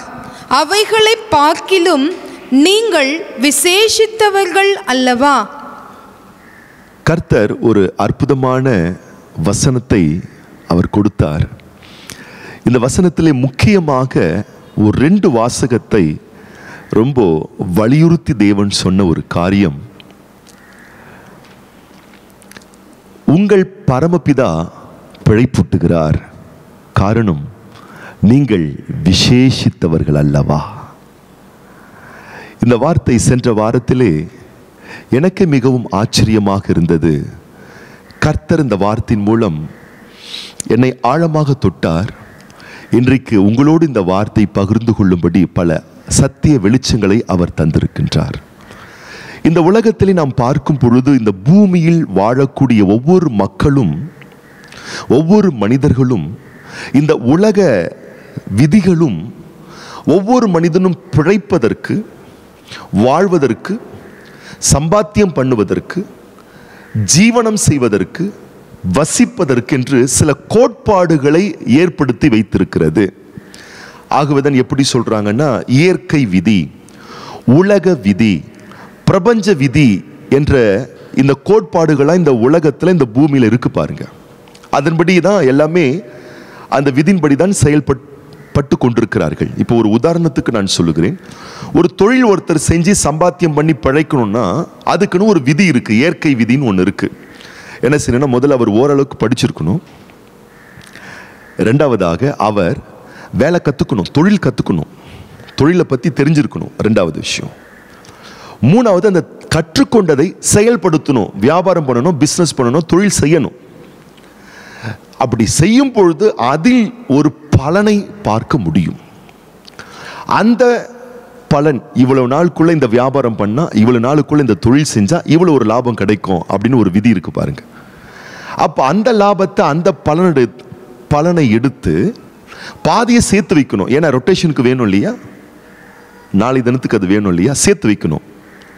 பாதி எடுத்து வச்சுட்டு மீதியை கொண்டு ஜீவனம் பண்ணுவது அல்லது மீதியை கொண்டு பிழைப்பு நடத்துவது. இதுதான் இயற்கையின்படி இயற்கையின் விதி பிரபஞ்ச விதி தொழிலுக்கு. இப்படி எல்லாத்துக்கும் சொல்லலாம். படிப்புக்குன்னு ஒரு விதி இருக்குது வருமானத்துக்குன்னு ஒரு விதி இருக்குது இயற்கை விதி பிரபஞ்ச விதி உலக விதி. இப்படிதாங்க பிழைக்க முடியும். வேற வழி கிடையாதுங்க. ஒரு மனுஷன் இந்த பூமியில் இந்த உலகத்தில் இந்த மண்ணில் வாழணும் வசிக்கணும். அவன் பிழைக்கணும். அவன் இந்த உலகத்தில் ஜீவனம் பண்ணணும்னா இப்படிப்பட்ட விதிகள்லாம் இருக்கு பாருங்க. இ- இதுதான் வழி. இதை விட்டால் அவன் பிழைக்கிறதுக்கு வேற வழியே கிடையாதுன்னு சொல்லுவாங்க பாருங்கள் அப்படிப்பட்ட பிரபஞ்ச இயற்கை உலக விதிகள் இந்த உலகத்தில் இருக்கிறது. ஒவ்வொரு மனிதனும் அதற்குட்பட்டவனாக வாழ்ந்து கொண்டிருக்கிறான். ஆனால் இயேசு கிறிஸ்து இங்கே ஒரு ஆச்சரியமான தகவலை சொல்லுகிறார். அற்புதமான ஒரு விஷயத்தை சொல்றார். என்னன்னா இந்த உலக விதி இந்த பிரபஞ்ச விதி இந்த இயற்கை விதி இப்படிதான் செய்யும் இப்படிதான் வாழ முடியும் இப்படிதான் பிழைக்க முடியும் என்று சில சட்டங்களையும் ரூல்ஸையும் போடும் பொழுது இதெல்லாம் ஒன்றுமே கிடையாதுப்பா. நீ பிழைப்பதற்கு நீ வாழ்வதற்கு நீ வசிப்பதற்கு இந்த விதியில் மட்டும்தான் நீ நினச்சிக்கிட்டு இருக்காத. இவைகளை கடந்தும் நீ வாழலாம். அதுக்கு சாம்பிளாக பேர்ட்ஸை காட்டுறாரு. காகங்களை பாருங்கள் பறவைகளை பாருங்கள் குருவிகளை பாருங்கள் நான் படைத்த படைப்புகளை பாருங்கள். பறவையை பார்ப்பா அது எங்கேயாச்சும் வேலைக்கு போதா? அது விதைக்குதா? அது சம்பாத்தியம் பண்ணுதா? அது சேர்த்து வைக்குதா? அது ஏதாச்சும் அதுக்குன்னு ஏதாச்சும் ஒரு பேங்க் இருக்கா? அதுக்குன்னு சில குடோன்ஸ் இருக்கா? சில களஞ்சங்கள் இருக்கா? அது என்னது சேர்த்து வைக்குதா? அது விதைக்கிறதும் இல்லை அறுக்கிறதும் இல்லை தொழில் செய்கிறதும் இல்லை சம்பாத்தியம் பண்ணுறதும் இல்லை சேர்த்து வைக்கிறதும் இல்லை. ஆனாலும் உங்கள் பரமபிதா அவைகளை அற்புதமாய் பிழைப்புட்டுகிறாரே அதை விட நீ விசேஷித்தவன் அல்லவா? ஒரு காசுக்கு இரண்டு அடைக்கலான் குருவிகள் விற்பனை செய்யப்படுகிறது. ஒரு காசுக்கு ரெண்டு அடைக்கலான் குருவி. அப்போ ரெண்டு காசுக்கு நாலு அடைக்கலான் குருவி விற்பனை செய்ய வேண்டும். ஆனால் இந்த அடைக்கலான் குருவி ரொம்ப சீப்பு ரொம்ப விலை மலிவானது. அப்போது ரெண்டு காசுக்கு நாலு அடைக்கலான் குருவி அல்ல ரெண்டு காசுக்கு ஐந்து அடைக்கலான் குருவி. கொசுறு போடுற மாதிரி எக்ஸ்ட்ராவே கொடுக்குறாங்க பாருங்கள் அப்போ எப்போ அங்கே கொசுறு போயிடுறோமோ அது வேல்யூ கிடையாது. கொசுருன்னு போயிட்டாலே அது ரொம்ப ஒரு ரொம்ப சீப்பான ஒரு மேட்ரு அந்த நாட்கள்லாம் எனக்கு நல்லா ஞாபகம் இருக்குது சில நேரத்தில் எங்கள் வீட்டில் எங்கள் அம்மா கடைக்கு அமிச்சாங்கன்னா யார் அனுப்பலான்னு சொல்லிட்டு இருப்பாங்க. நான் போகிறேன்ட்டு உடனே போயிடுவேன் ஏன்னா நாங்கள் குடியிருந்தோம் பாருங்கள் சின்ன பசங்களா ரொம்ப குட்டி பசங்களா கடைக்கு போவோம். ஆனால் இந்த நாட்டார் கடையில் பார்த்தீங்கன்னா அந்த கடைக்காரர் என்ன பண்ணுவாருன்னா பொருள் வாங்கும்போது கேட்போம் கை நீட்டி கொஞ்சம் கொசுறு போடுங்கன்னு. அவர் கொடுப்பார். கொஞ்சம் வெள்ளம் சில நேரத்தில் கொஞ்சம் உடைச்ச கடலை ஏதாச்சும் ஒன்று எடுத்து கொடு பொறி ஏதாச்சும் ஒன்று எடுத்து கொடுப்பாரு கொசு அந்த கொசுருக்காகவே போவோம் அந்த கொசுர் வந்து ரொம்ப ஒரு ஒரு மலிவானது பாருங்க. எடுத்து அப்படி கொடுத்துருவாங்க அப்படி. கொசுர் மாதிரி. அப்போ ஆண்டவர் என்ன சொல்கிறாருன்னா ரொம்ப மலிவானது அடைக்கலான் குருவி ரொம்ப சீப்பானது. கொசுர் மாதிரி அது. எக்ஸ்ட்ரா கொடுக்குறாங்க பாருங்க. ஃப்ரீயாகவே கொடுத்துட்றான். ரெண்டு காசுக்கு நீ வாங்கினா எக்ஸ்ட்ரா ஒன்று கொடுக்குறேன். போ. விலை மதிப்பில்லாதது. மட் ரொம்ப ஒரு ரொம்ப அற்பமானது. வசனம் சொல்லுது. அந்த அடைக்கலான் குருவி கூட ஆண்டவருடைய சித்தம் இல்லாம கீழே விழாதான். அப்படிப்பட்ட பறவைகள் பட்சிகளை கூட உங்கள் பரமபிதா அற்புதமாய் பிழைப்பூட்டுகிறார் என்று சொன்னால் இந்த பூமியில் வாழக்கூடிய அவரை நம்பி இருக்கக்கூடிய நீங்கள் அவைகளை பார்க்கிலும் விசேஷித்தவர்கள் அல்லவா? உங்களை உங்கள் பரமபிதா பிழைப்பூட்டுவது அதிக நிச்சயம் அல்லவா? அப்படின்னா என்ன சொல்றாருன்னா இந்த இயற்கையின் விதியின்படி பிரபஞ்ச விதியின்படி உலக விதியின்படி இப்படிதான் பிழைக்க முடியும்னு உலகத்தின் கீழ் வாழ்கிற மக்கள் சொல்லும் பொழுது கர்த்தர் சொல்றாரு எனக்கு கீழே நீ வாழ்ந்தினா இதெல்லாம் உனக்கு தேவையே இல்லை. இதை கடந்தும் உன்னை பிழைக்க வைப்பதற்கு பிழைப்பூட்டுவதற்கு நான் போதுமானவராய் இருக்கிறேன் என்று கர்த்தர் சொல்லுகிறார். அப்ப இன்னைக்கு புரிஞ்சுக்கோங்க இந்த ஜூலை மாதம் கொஞ்சம் யோசித்து பாருங்க. ஜூலை மாதம் இந்த முதலாம் தேதி என்ன பண்ணணும்னு புரியல. சட்டம் பாதகமாக இருக்கு. தடை உறவு உத்தரவு சட்டம் நீடித்து கொண்டே இருக்கிறது. இது என்ன ஆகுமோ ஏதாகுமோ தொழில் இல்லை பிஸ்னஸ் இல்லை சரியான வருமானம் இல்லை. எப்படி காரியங்கள் முடிய போதுன்னு ஒரு பதற்றத்திலே இன்றைக்கு அநேக தேவ மக்கள் வாழ்ந்து கொண்டிருக்கிறார்கள். இந்த ஊரை விட்டு எந்த ஊர் போய் பிழைக்கலாம்? சில பேருக்கு மன உளைச்சல் சில பேருக்கு காயம் சில பேருக்கு கஷ்டம் பணம் கஷ்டம் மன கஷ்டம். நெருக்கடி சேவிங்ஸ் இல்லை. கடந்த மூணு நாலு மாதம் வேலை வருமானம் இல்லாத இருந்த சேவிங்ஸ் எல்லாம் போயிடுச்சு எல்லாம் தொடச்சிட்டு போன மாதிரி போயிடுச்சு அடுத்த வேலைக்கு வழி தெரியல. ரொம்ப மனத்தாங்கல் அடைஞ்சிருக்கும். மன அழுத்தத்துக்குள்ளாக்கப்பட்டிருக்கும்னு அநேகர் குமருகிறார்கள். புலம்புகிறார்கள். இந்த வேலை இருந்தால் தானே எங்களால் பழைக்க முடியும். வருமானம் இருந்தால் தானே பழைக்க முடியும். சேவிங்ஸ் இருந்தால் தானே பழைக்க முடியும். இந்த ஜூலை மாதம் நான் எப்படி பிள்ளைகளுடைய படிப்பு விஷயம் பிள்ளைகளுடைய தேவைகளுக்கு அடுத்த விஷயம் ப்ரொவிஷனுக்கு அடுத்த விஷயம் வருமானங்களுக்கு அடுத்த விஷயம் எல்லாம் விலைவாசி ஒரு பக்கம் ஏறிக்கிட்டு இருக்கேன் நான் என்ன பண்ண போகிறேன் ஏது பண்ண போகிறேன் வாடகை எப்படி நான் கட்ட போகிறேன் ஆயிரத்தெட்டு எண்ணங்கள் உங்கள் மனதில் அலைகளாக ஓடிக்கொண்டிருந்தால் நான் சொல்லுகிறேன் உலக விதி பிரபஞ்ச விதி சட்ட விதி இயற்கையின் விதியின்படி இதெல்லாம் கவலைப்படுறவங்க இதை பற்றிலாம் யோசிக்கிறவங்க அந்த விதியின் கீழ் வாழக்கூடிய மக்கள். ஆனால் இப்போ கர்த்தர் சொல்கிறாரு நீ உலகத்தான் அல்ல. நீ உலக மக்கள் போலவே எண்ணத்தை உண்போம் எண்ணத்தை புசிப்போம் என்ன பண்ணுவோம் ஏது பண்ணுவோம் எப்படி தொழில் பண்ணுவோம் எப்படி சம்பாத்தியம் பண்ணுவோம் என்று கவலைப்படுவதற்கு நீ உலகத்தான் அல்ல. உலகத்தார் கவலைப்படட்டும். ஏனென்றால் அவர்கள் அஞ்ஞானிகள். ஆனா நீ அஞ்ஞானி அல்ல நீ தேவனை சார்ந்து கொள்ளக்கூடிய விசுவாச பிள்ளை. அப்ப கர்த்தர் அதைத்தான் உறுதிப்படுத்துகிறார். அதைத்தான் மிக திட்டமும் தெளிவுமாக இந்த குறிப்பிட்ட மாதத்திலே உன்னோடு கர்த்தர் முகமுகமாய் பேசுகிறார். நீ வார்த்தையின் கீழ் வாழுகிற தேவ பிள்ளை நீ எனக்கு கீழே வாழ்கிற தேவ பிள்ளை என் உள்ளங்கைக்குள் வாழ்ந்து கொண்டிருக்கிற தேவ பிள்ளை என் ரத்த கோட்டைக்குள்ள வாழ்ந்து கொண்டிருக்கிற தேவ பிள்ளை நீ கவலைப்பட வேண்டிய அவசியம் இல்லை பயப்பட வேண்டிய அவசியம் இல்லை சங்கடப்பட வேண்டிய அவசியம் இல்லை சலித்துக் கொள்ள வேண்டிய அவசியம் இல்லை ஏனென்றால் உன்னை பிழை பூட்டுவது உலக விதி அல்ல இயற்கை விதி அல்ல பிரபஞ்ச விதி அல்ல. உன் தேவனாகிய கர்த்தர் உன்னை பிழைப்பூட்டுகிறவராக இருக்கிறார். உங்கள் தேவன் பிழைப்பூட்டுகிறார். அதே அதிகாரத்தில் சொல்றாரு காட்டுப்புள் காட்டு புஷ்பத்தை அவர் உடுத்து விற்கிறாராம். எப்படி உடுத்து விற்கிறாராம் பாருங்க. சாலமன் கூட உடுத்துனது இல்லையா சாலமன் ட்ரெஸ் உடுத்துறதுக்காக அரப் கண்ட்ரில இருந்து இம்போர்ட் பண்ணுவாங்களாம். இறக்குமதி செய்வார்களாம். இவர் இஸ்ரேல் தேசத்தில் இருக்கிறார். யாரு? சாலமன் ராஜா. இவர் ட்ரெஸ் உடுத்துறதுக்காக அரபிய நாடுகள் நூல் நெய்து இவருக்காக ட்ரெஸ் அங்கே டிசைன் பண்ணுறாங்களாம் யோசித்து பாருங்க அந்த நாட்கள்லேயே பல ஆயிரக்கணக்கான வருஷங்களுக்கு முன்னாடியே சாலமனை போல எவருமே உடுத்துறது கிடையாது. அவ்வளவு அழகா உடுத்துவான் மனுஷன். இப்ப கர்த்தர் சொல்றாரு இந்த உலகத்திலே அலங்காரமாய் உடுத்தினவன் சாலமோன். இந்த உலகத்திலே மிக அழகாய் உடுத்தினவன் சாலமோன். மிக விலை உயர்ந்த ரகத்தில் உடுத்தினவன் சாலமோன். அந்த சாலமோன் கூட உடுத்தினதில்ல அந்த அளவுக்கு நான் காட்டு புஷ்பத்துக்கு உடுத்து விற்கிறேன் எவ்வளோ அற்புதமான ஆண்டவர் பாருங்க. சாலமோன் கூட அதை அனுபவிக்கலையா? ஆண்டவர் சாலமோன் கூட உடுத்தலையா? அந்த அளவுக்கு ஆண்டவர் புள்ளையும் பூக்களுக்கும் புஷ்பத்துக்கும் அவ்வளவு அலங்காரத்தையும் அழகையும் அவர் உடுத்து விற்கிறாராம் இப்போ கர்த்தர் சொல்கிறாரு சாலமோனுக்கு கிடைக்காத அந்த அலங்காரத்தை நான் புஷ்பத்துக்கு உடுத்து விற்கிறேன் அந்த காட்டு புஷ்பத்துக்கே இந்த அளவுக்கு நான் உடுத்து வித்தால் நீ அதை பார்க்கலும் விசேஷித்தவன் அல்லவா? நீ என்னுடைய பிள்ளை அல்லவா? உனக்கு உடுத்து விப்பது அதிக நிச்சயம் அல்லவா? அதனால தான் இயேசு கிறிஸ்து எப்படி சொல்றாரு பாருங்க வாசிக்க கேட்போம். யோவான் சுவிசேஷ புஸ்தகம் பதினேழாம் அதிகாரம் பதினான்காம் வசனத்தை வாசியுங்கள். நான் உம்முடைய வார்த்தையை அவர்களுக்கு கொடுத்தேன். ஆண்டவராய் இயேசு கிறிஸ்து பிதாவாகி தேவனிடத்தில் ஜெபத்தை ஏறெடுக்கும் பொழுது சொல்லுகிறார். என்ன சொல்றாருன்னா உம்மை நம்புற ஒரு கூட்டம் இருக்குப்பா. உம்மை விசுவாசிக்கிற ஒரு கூட்டம் இருக்காங்கப்பா. அவங்களுக்கு நான் உங்க வார்த்தையை கொடுத்துருக்கிறேன். நான் சொல்லட்டுமா? இந்த காலையில் தெய்வ பிள்ளையே உன் கையில் பணம் இல்லாமல் இருக்கலாம். உன் அக்கௌண்ட்டில் பெரிய சேவிங் சேவிங்ஸ் இல்லாமல் இருக்கலாம். உன் அல்மாரில் ஒன்றும் இல்லாம இருக்கலாம். உன் வாழ்க்கையில் எதுவுமே இல்லாமல் இருக்கலாம். ஆனால் நான் சொல்கிறேன் இந்த மாதம் இந்த நாள் இந்த துவக்கத்தில் உன் கையில் வார்த்தை ஆண்டவர் கொடுத்துருக்காரு. உனக்கு வாக்கு தத்தங்கள் கொடுக்கப்பட்டிருக்கு. ஆண்டவர் உனக்கு நீ எதை கேட்டாலும் அவர் வார்த்தையை தான் கொடுப்பார். ஏன்னா உனக்கு என்ன வேணுமோ அது வார்த்தைக்குள்ள தான் அடங்கியிருக்கு. அவர் சொல்லுகிறார் உம்முடைய வார்த்தை அவர்களுக்கு கொடுத்தேன். இப்போ நம்ம வார்த்தையை பெற்றிருக்கிறோம். எத்தனை பேர் சொல்றீங்க நான் வார்த்தையை பெற்றிருக்கிறேன் வாக்கு தத்தத்தை பெற்றிருக்கிறேன்.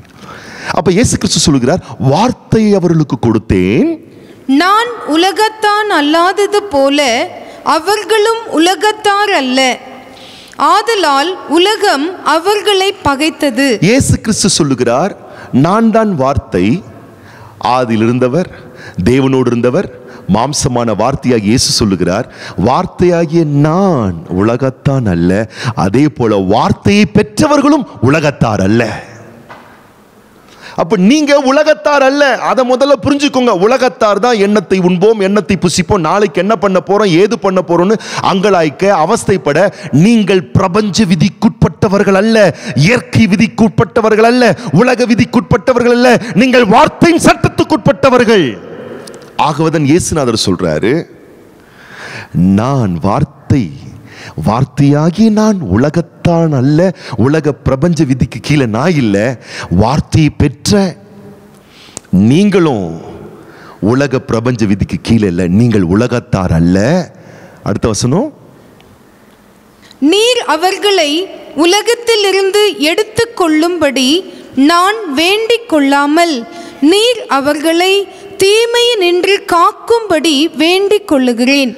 ஏசு கிறிஸ்து சொல்கிறாரு உலகத்தில் சில பிரச்சனை வருது இன்னைக்கு கூட பல சவால்கள் இருக்கு இல்லையா? பிரச்சனை இருக்கு இல்லையா? இப்போ ஏசுநாதருடைய ஜெபம் என்னவா இருக்கு? பா இந்த உலகத்தில் பல பிரச்சனைகள் நம்முடைய பிள்ளைகள் வார்த்தை பெற்ற மக்கள் சந்திக்கிறார்களே. அதனால் இவங்களெல்லாம் எடுத்துருங்க. அப்படி ஜெபம் பண்ணலையா இந்த உலகத்தில் இருக்கக்கூடிய தீமை இவர்களை மேற்கொள்ளக்கூடாது. தீமை இவர்களை அந்த உ- உலக பிரபஞ்ச விதியின் கீழ் வாடுகிற வாழ்க்கைக்குள்ளாக இவர்கள் சென்று தீமைக்குட்பட்டு விடக்கூடாது என்பதற்காக இயேசு கிறிஸ்து ஜபிக்கிறாரா? நான் சொல்லுகிறேன் உலகத்துக்கு ஒத்த வேஷம் தெரியாத உலகத்தோடு ஒத்து போகாத உலக பிரமாணத்தின் கீழ் வாழாத ஒரு விசேஷமான வாழ்க்கை நமக்கு கொடுக்கப்பட்டிருக்கிறது. ஒரு விசேஷித்தமான ஒரு லைஃப் நமக்கு கொடுக்கப்பட்டிருக்கிறது என்பது உங்களுக்கு புரிந்தால் இந்த நாள் இந்த துவக்கம் உங்களுக்கு சந்தோஷமா இருக்கும். உங்களுக்கு மகிழ்ச்சியா இருக்கும். உங்களுக்கு ஆனந்தமா இருக்கும். அப்படியே சொல்றாரு பாருங்க அடுத்த வசனம். நான் உலகத்தான் அல்லாதது போல அவர்களும் உலகத்தார் அல்ல. மறுபடியும் அதுதான் சொல்றாரு. நான் இந்த பிரபஞ்ச இயேசுநாதர் எங்க இருந்து சொல்றாருன்னா உலகத்துல இருந்து தான் சொல்றாரு அவர். பரலோகத்திலிருந்து அவர் சொல்லல.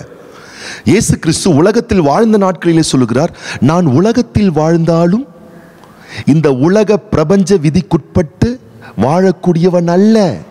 அதே போல என்னை விசுவாசிக்கிறவர்களும் தேவனை நம்புகிறவர்களும் இந்த உலக பிரபஞ்ச விதிகளுக்குட்பட்டவர்கள் அல்ல.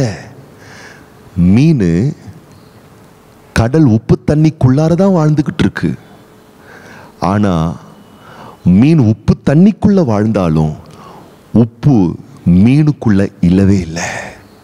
அதுபோல நாம் இந்த உலகத்துக்குள்ள வாழ்ந்துக்கிட்டு இருந்தாலும் இந்த உலகத்தின் விதி நமக்குள்ள இல்லவே இல்லை. அந்த ரகத்தில் தான் தேவனாகிய கர்த்தர் நம்மை வைத்து சொல்லுகிறார் நீங்கள் விசேஷமானவர்கள் ஏன்னா இந்த பிரபஞ்ச விதிக்குட்பட்டவர்களுக்கு இந்த பிரபஞ்சத்தில் என்னெல்லாம் நடக்குதோ அதெல்லாம் நடக்கும். அதுதான் பிரசங்கி மூணில் நீங்கள் வாசித்து பாருங்களேன். பிரசங்கி மூணில் சொல்வார் பிறக்க ஒரு காலம் இறக்க ஒரு காலம் கட்ட ஒரு காலம் இடிக்க ஒரு காலம் வானத்தின் கீழ் வாழ்கிற எல்லாருக்கும் அது நடக்குமா? இந்த உலகத்தில் பிறக்கக்கூடிய எல்லாருக்கும் அது நடக்குமா? பிரபஞ்ச விதி இயற்கை விதி உலக விதிக்கு கீழ் வாழக்கூடிய எல்லாருக்குமே அந்த பிரசங்கி மூணில் இருக்கிறதெல்லாம் அப்படியே நடக்கும். ஆனா நீங்களும் நானும் வானத்தின் கீழ் வாழ்கிறவர்கள் அல்ல வார்த்தையின் கீழ் வாழக்கூடியவர்கள். அப்போ உங்களுக்கும் எனக்கும் பிரபஞ்சத்தில் நடக்கக்கூடிய விதின்படி எல்லாம் நடக்காது. வார்த்தையில் என்ன சொல்லப்பட்டிருக்கிறதோ இந்த வார்த்தையில் இருக்கிறபடியே நமக்கும் நம் அனைவருக்கும் நடக்கும் என்று தேவன் சொல்லி வைத்த தீர்மானமாய் அது இருக்கின்றபடினால் நீங்களும் நானும் விசேஷமானவர்கள். ஆகவேதான் இயேசு கிறிஸ்து என்ன ஜெபம் பண்றாருன்னா அதே அதிகாரம் யோவான் சுவிசேஷ புஸ்தகம் பதினேழாம் அதிகாரம் ஒன்பதாம் வசனத்தை வாசிங்கள் பார்க்கலாம். நான் அவர்களுக்காக வேண்டிக் கொள்ளுகிறேன். உலகத்துக்காக வேண்டிக் கொள்ளாமல் நீர் எனக்கு தந்தவர்களுக்காக வேண்டிக் கொள்ளுகிறேன். அவர்கள் உம்முடையவர்களாய் இருக்கிறார்களே. எவ்வளவு அற்புதமா சொல்றாரு பாருங்க இயேசுநாதர். நான் உலகத்திற்காக வேண்டிக் கொள்ளவில்லை. உலக விதி உலக நியதி உலக பிரபஞ்ச அந்த சூழலுக்காக நான் வேண்டிக் கொள்ளவில்லை. உங்களுக்காக எனக்காக வேண்டுதல் செய்கிற ஒரு தேவகுமாரன் இருக்கிறார். வேதம் சொல்லுகிறது நீர் எனக்கு தந்தவர்களுக்காக நான் வேண்டிக் கொள்ளுகிறேன். தேவ பிள்ளையே இந்த உலகத்துல யார் ஜெபம் கேட்கப்படுதோ இல்லையோ தேவகுமாரனுடைய ஜெபம் நிச்சயமாகவே கேட்கப்படும். அந்த தேவகுமாரன் உனக்காக ஜெபிக்கிறார். மறந்து விடாதே இந்த நாளிலும். அவர் உலக காரியத்துக்காக ஜெபிக்கல. உனக்காக ஜெபிக்கிறாரு. இன்னும் ஜெபிக்கிறாரு. இந்த உலக விதியின்படி உன் வாழ்க்கை பாதிப்படைந்து விடக்கூடாது சேதமடைந்து விடக்கூடாது தீங்கு உன்னை மேற்கொண்டு விடக்கூடாது. நீ ஒரு வெற்றிகரமான ஒரு வாழ்க்கை வாழ வேண்டும் என்பதற்காக உனக்காக தேவகுமாரனாகி ஆண்டவராக இயேசு கிறிஸ்து இந்த ரெண்டாயிரம் வருஷமும் அவர் பரிந்து பேசிக்கொண்டே இருக்கிறார். அவர் சிந்திய ரத்தம் உனக்காக நன்மையானவைகளை பேசிக் கொண்டிருக்கிறது என்று சொன்னால் நீ விசேஷமான ஒரு நபர் அல்லவா? நீங்கள் விசேஷமானவர்கள் அல்லவா? உலக பிரபஞ்ச விதியின் கீழ் வாழக்கூடிய எத்தனையோ பேர் தேவனை அறியாதவர்கள் தூஷிக்கிறவர்கள் நம்பாதவர்கள் இந்த உலகத்தை தகாத விதமாய் அனுபவிக்கக்கூடிய எத்தனை எத்தனையோ மக்கள் சுகபோகமாக வாழ்ந்து கொண்டிருக்கும் பொழுது கர்த்தர் சொல்றாரு அவங்களுக்கு நான் பிழை போட்டுறேனா உனக்கு நான் பிழை போட்ட மாட்டேனா? நீ வாழ்ந்திருக்கும்படி நான் செய்ய மாட்டேனா? நீ மேன்மை அடையும்படி நான் செஞ்சிருக்க செய்ய மாட்டேனா? அப்ப அஞ்ஞானியை போல அதையே திங்க் பண்ணிட்டு இருக்காத. வார்த்தை விசுவாசிக்கக்கூடிய தேவ பிள்ளையாக இன்றைக்கு வந்து கொரோனா கொள்ளை நோய் தேசத்தில் புயல் காற்று மழை வேலை இல்லை வருமானம் இல்லை சம்பாத்தியம் இல்லை இதையே சொல்லி புலம்பிட்டு இல்லாமல் இந்த நெருக்கம் கஷ்டம் எல்லாமே வானத்தின் கீழ் வாழ்கிறவர்களுக்கு இயற்கை பிரபஞ்ச விதியின் கீழ் இருக்கிறவர்களுக்கு நான் உலகம் இயற்கை பிரபஞ்ச விதியிலிருந்து நான் விடுதலையாக்கப்பட்டிருக்கிறேன். அந்த தீங்கு என்னை ஓவர் கம் பண்ண முடியாது. வார்த்தை மாத்திரமே என்னுடைய வாழ்க்கையிலே நிறைவேறக்கூடியதாக இருக்கிறது. உலக நியதிகள் என் வாழ்வில் நிறைவேற முடியாது. அதற்காகவே ஆண்டவராக இயேசு கிறிஸ்து ரத்தம் சிந்தினாராம். வாசிங் வாசிக்க கேட்போம் கலாத்தியரின் புஸ்தகம் முதலாம் அதிகாரம் நான்காம் வசனம். அவர் நம்மை இப்பொழுது இருக்கிற பொல்லாத பிரபஞ்சத்தின் இன்று விடுவிக்கும்படி நம்முடைய பிதாவாகிய தேவனுடைய சித்தத்தின்படியே நம்முடைய பாவங்களுக்காக தம்மை தாமே ஒப்பு கொடுத்தார் இப்பொழுது இருக்கின்ற பொல்லாத பிரபஞ்சம் பொல்லாதனா உலக சிஸ்டம் இன்னைக்கு உண்மையாவே ரொம்ப மோசமா போயிட்டு இருக்கு இல்லையா பொல்லாததா போயிட்டு இருக்கு இல்லையா உலக விதிகள் ரொம்ப மோசமா போயிட்டு இருக்கு இல்லையா நன்றாய் புரிந்து கொள்ளுங்கள். உங்களுக்காக எனக்காக. ரெண்டாயிரம் வருஷத்துக்கு முன்னாடியே இந்த உலக பிரபஞ்ச விதி கீழ் வாழக்கூடிய மக்களுக்கு இருக்கக்கூடிய பொல்லாப்பு ஒன்றும் நம்மை அணுகிவிடக்கூடாது என்பதற்காக நம்மை தேவாதி தேவன் அந்த பிரபஞ்சத்தின் கீழ் வாழுகிற அந்த வாழ்க்கை கீழ் நம்மை வைக்காமல் அவருடைய வார்த்தையின் கீழ் வாழக்கூடிய வாழ்க்கைக்குள்ளாக நம்மை கொண்டு வந்து வைத்து விட்டார். எத்தனை ஒரு அற்புதமான ஒரு விஷயம் பாருங்க. எத்தனை ஒரு ஆச்சரியமான ஒரு விஷயம் பாருங்க. சில நாட்களுக்கு முன்பதாக ஒரு குறிப்பிட்ட இடத்துக்கு ஊழியத்திற்காக நாங்கள் செஞ்சிருந்தோம் அந்த ஊழியம் சேர்ந்த அந்த பகுதி பார்த்தீங்கன்னா ஃபுல்லாக பில்டிங் அப்போ அங்கே இருந்தவங்க சொன்னாங்க ரெண்டு மாதத்துக்கு முன்னாடி ஒரு மிகப்பெரிய ஒரு ஃபயர் ஆக்சிடென்ட் இங்கே நடந்தது. ஃபயர் ஆக்சிடென்ட் நடந்தது. ஒரு தீ விபத்து நடந்துச்சு. ரெண்டு மாதத்துக்கு முன்னாடி நடந்த தீ விபத்து ரெண்டு வருஷத்துக்கு முன்னாடி நடந்திருந்துச்சுன்னா அவன் சொன்னாங்க எல்லாம் குடிசையாக இங்கே இருந்துச்சு. எல்லாம் குடிசையாக இருந்துச்சு. ரெண்டு வருஷத்துக்கு முன்னாடி அந்த தீ விபத்து இந்த பகுதியில் நடந்திருந்து நடந்திருந்தா ஒரு வீடு கூட தேறி இருக்காது. ஆனால் இப்போ எல்லாமே இது பெரிய கட்டடம் மாளிகை கல்வீடு தளம் வீடு அமைந்ததுனால இந்த பெரிய ஃபயர் பெரிய தீ விபத்து பெரிய பாதகமாய் அமையல அது சீக்கிரமாக ஈஸியாக எல்லாத்தையும் சரி பண்ணிட்டாங்க. பாருங்க ஒரு கொட்டகைக்குள் வாழ்ந்து கொண்டிருந்த கூடிய மக்கள் அந்த கொட்டகைக்குள்ளேயே வாழ்ந்து கொண்டிருப்பார்களே ஆனால் அந்த தீ விபத்தில் அவர்களும் மாண்டு மறித்து போயிருப்பார்கள். ஆனால் அதே மக்கள் இப்போ கொட்டகையின் கீழ் வாழாமல் கட்டடத்தின் கீழ் வாழக்கூடிய ஒரு மக்களாய் வந்தபடியினால் அந்த விபத்து அவர்களை மேற்கொள்ளவில்லை. நான் அதுதான் சொல்கிறேன் உலக பிரபஞ்ச விதியின் கீழ் வாழ்கிறவர்கள் கொட்டையின் கொட்டகையின் கீழ் வாழக்கூடியவர்கள் வார்த்தையின் கீழ் வாழக்கூடியவர்கள் கட்டடத்தின் கீழ் வாழக்கூடியவர்கள் நன்றாய் புரிந்து கொள்ளுங்கள். கொட்டகையின் கீழ் வாழ்கிறவர்களுக்கும் கட்டடத்தின் கீழ் வாழ்கிறவர்களுக்கும் ஒரே விதமாக சம்பவித்தாலும் நான் சொல்லுகிறேன் பாதிக்கப்படக்கூடியவர்கள் கட்டடத்தின் கீழ் உள்ளவர்கள் அல்ல கொட்டகையின் கீழ் உள்ளவர்கள் தான். நீங்களும் நானும் பிரபஞ்சத்தின் கீழ் கொட்டகையின் கீழ் வாழக்கூடியவர்கள் அல்ல நீங்களும் நானும் வார்த்தையின் கீழ் வாழக்கூடியவர்கள் கட்டடத்தின் கீழ் வாழக்கூடியவர்கள். நம்முடைய கண்மலையாகிய கட்டடம் கர்த்தராகிய இயேசு கிறிஸ்து அவருடைய வார்த்தையாக அது இருக்கிறது. அப்போ புரிஞ்சுக்கோங்க நோய் என்ற பிரபஞ்ச விதி வாத என்ற கொள்ளை நோய் என்ற பிரபஞ்ச விதி பொல்லாத பிரபஞ்சமாய் இந்த உலகத்தில் வரக்கூடிய வாட்டி வதைக்கக்கூடிய இல்லாமைகள் ஏழாமைகள் பஞ்சங்கள் பசிகள் பட்டினிகள் வருத்தங்கள் எல்லா விதமான தீமை என்ற எல்லா பொல்லாத பிரபஞ்சத்திலிருந்தும் உங்களையும் என்னையும் ஆண்டவராக இயேசு கிறிஸ்து அவர் சிந்திய ரத்தம் விடுதலையாக்கி இருக்கிறது இது இன்னைக்கு சபை மக்களுக்கு புரியணும்.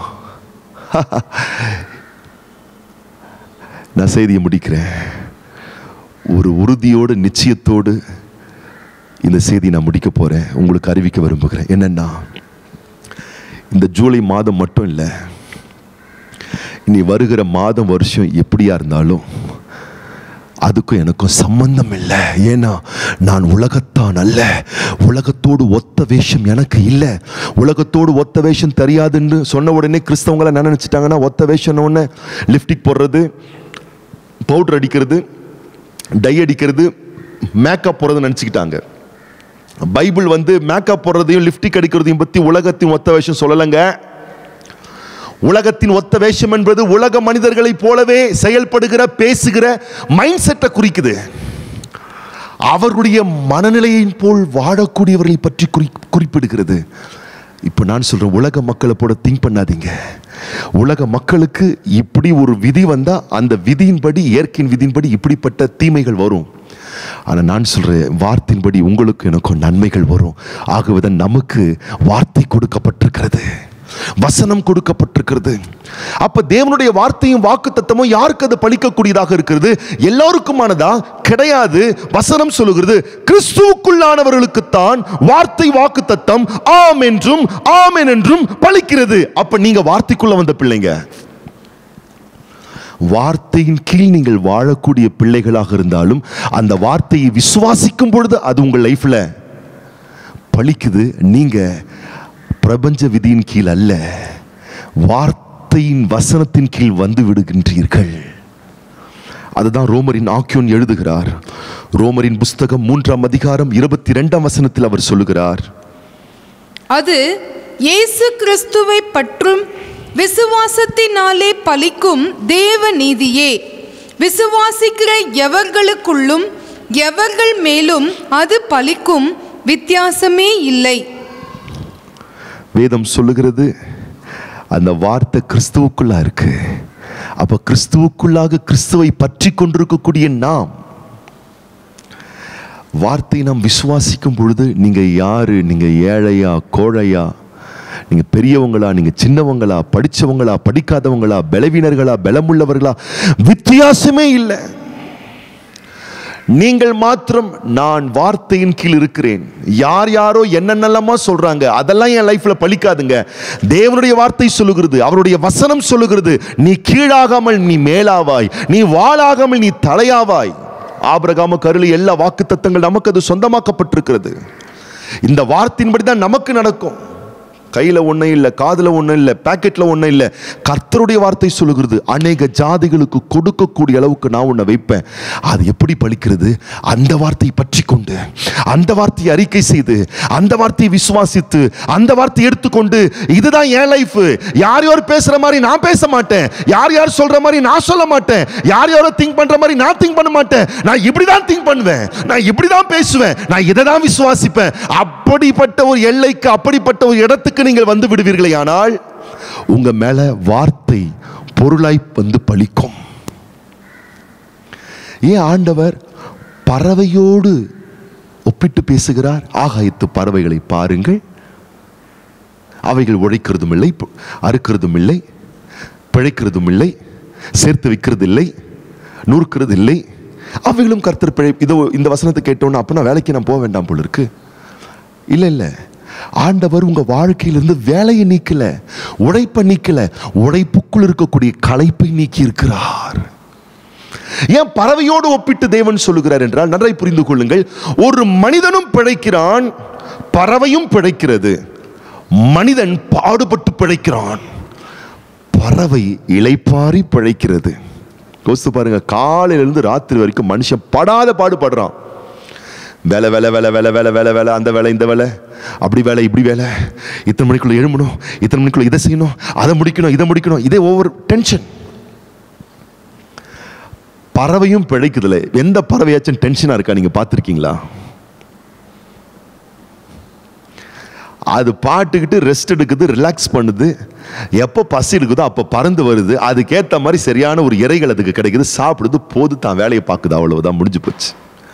மனிதன் கஷ்டப்பட்டு பிழைக்கிறான் பறவைகள் இலைப்பாரி பிழைக்கிறது. இப்ப கர்த்தர் சொல்றார் அந்த பறவை நான் எப்படி இலைப்பாறுதலோடு நான் போஷித்து இலைப்பாரி வைத்துக் கொண்டிருக்கிறேனோ நானும் அவ்வண்ணமாகவே உன்னை இலைப்பாரி பிழைக்கிற ஒரு வாழ்க்கையை நான் உனக்காக ஏற்படுத்தி வைத்திருக்கிறேன். ஆகவேதான் வேதம் சொல்லுகிறது அதை விசுவாசிக்கிறவன் பதறான்.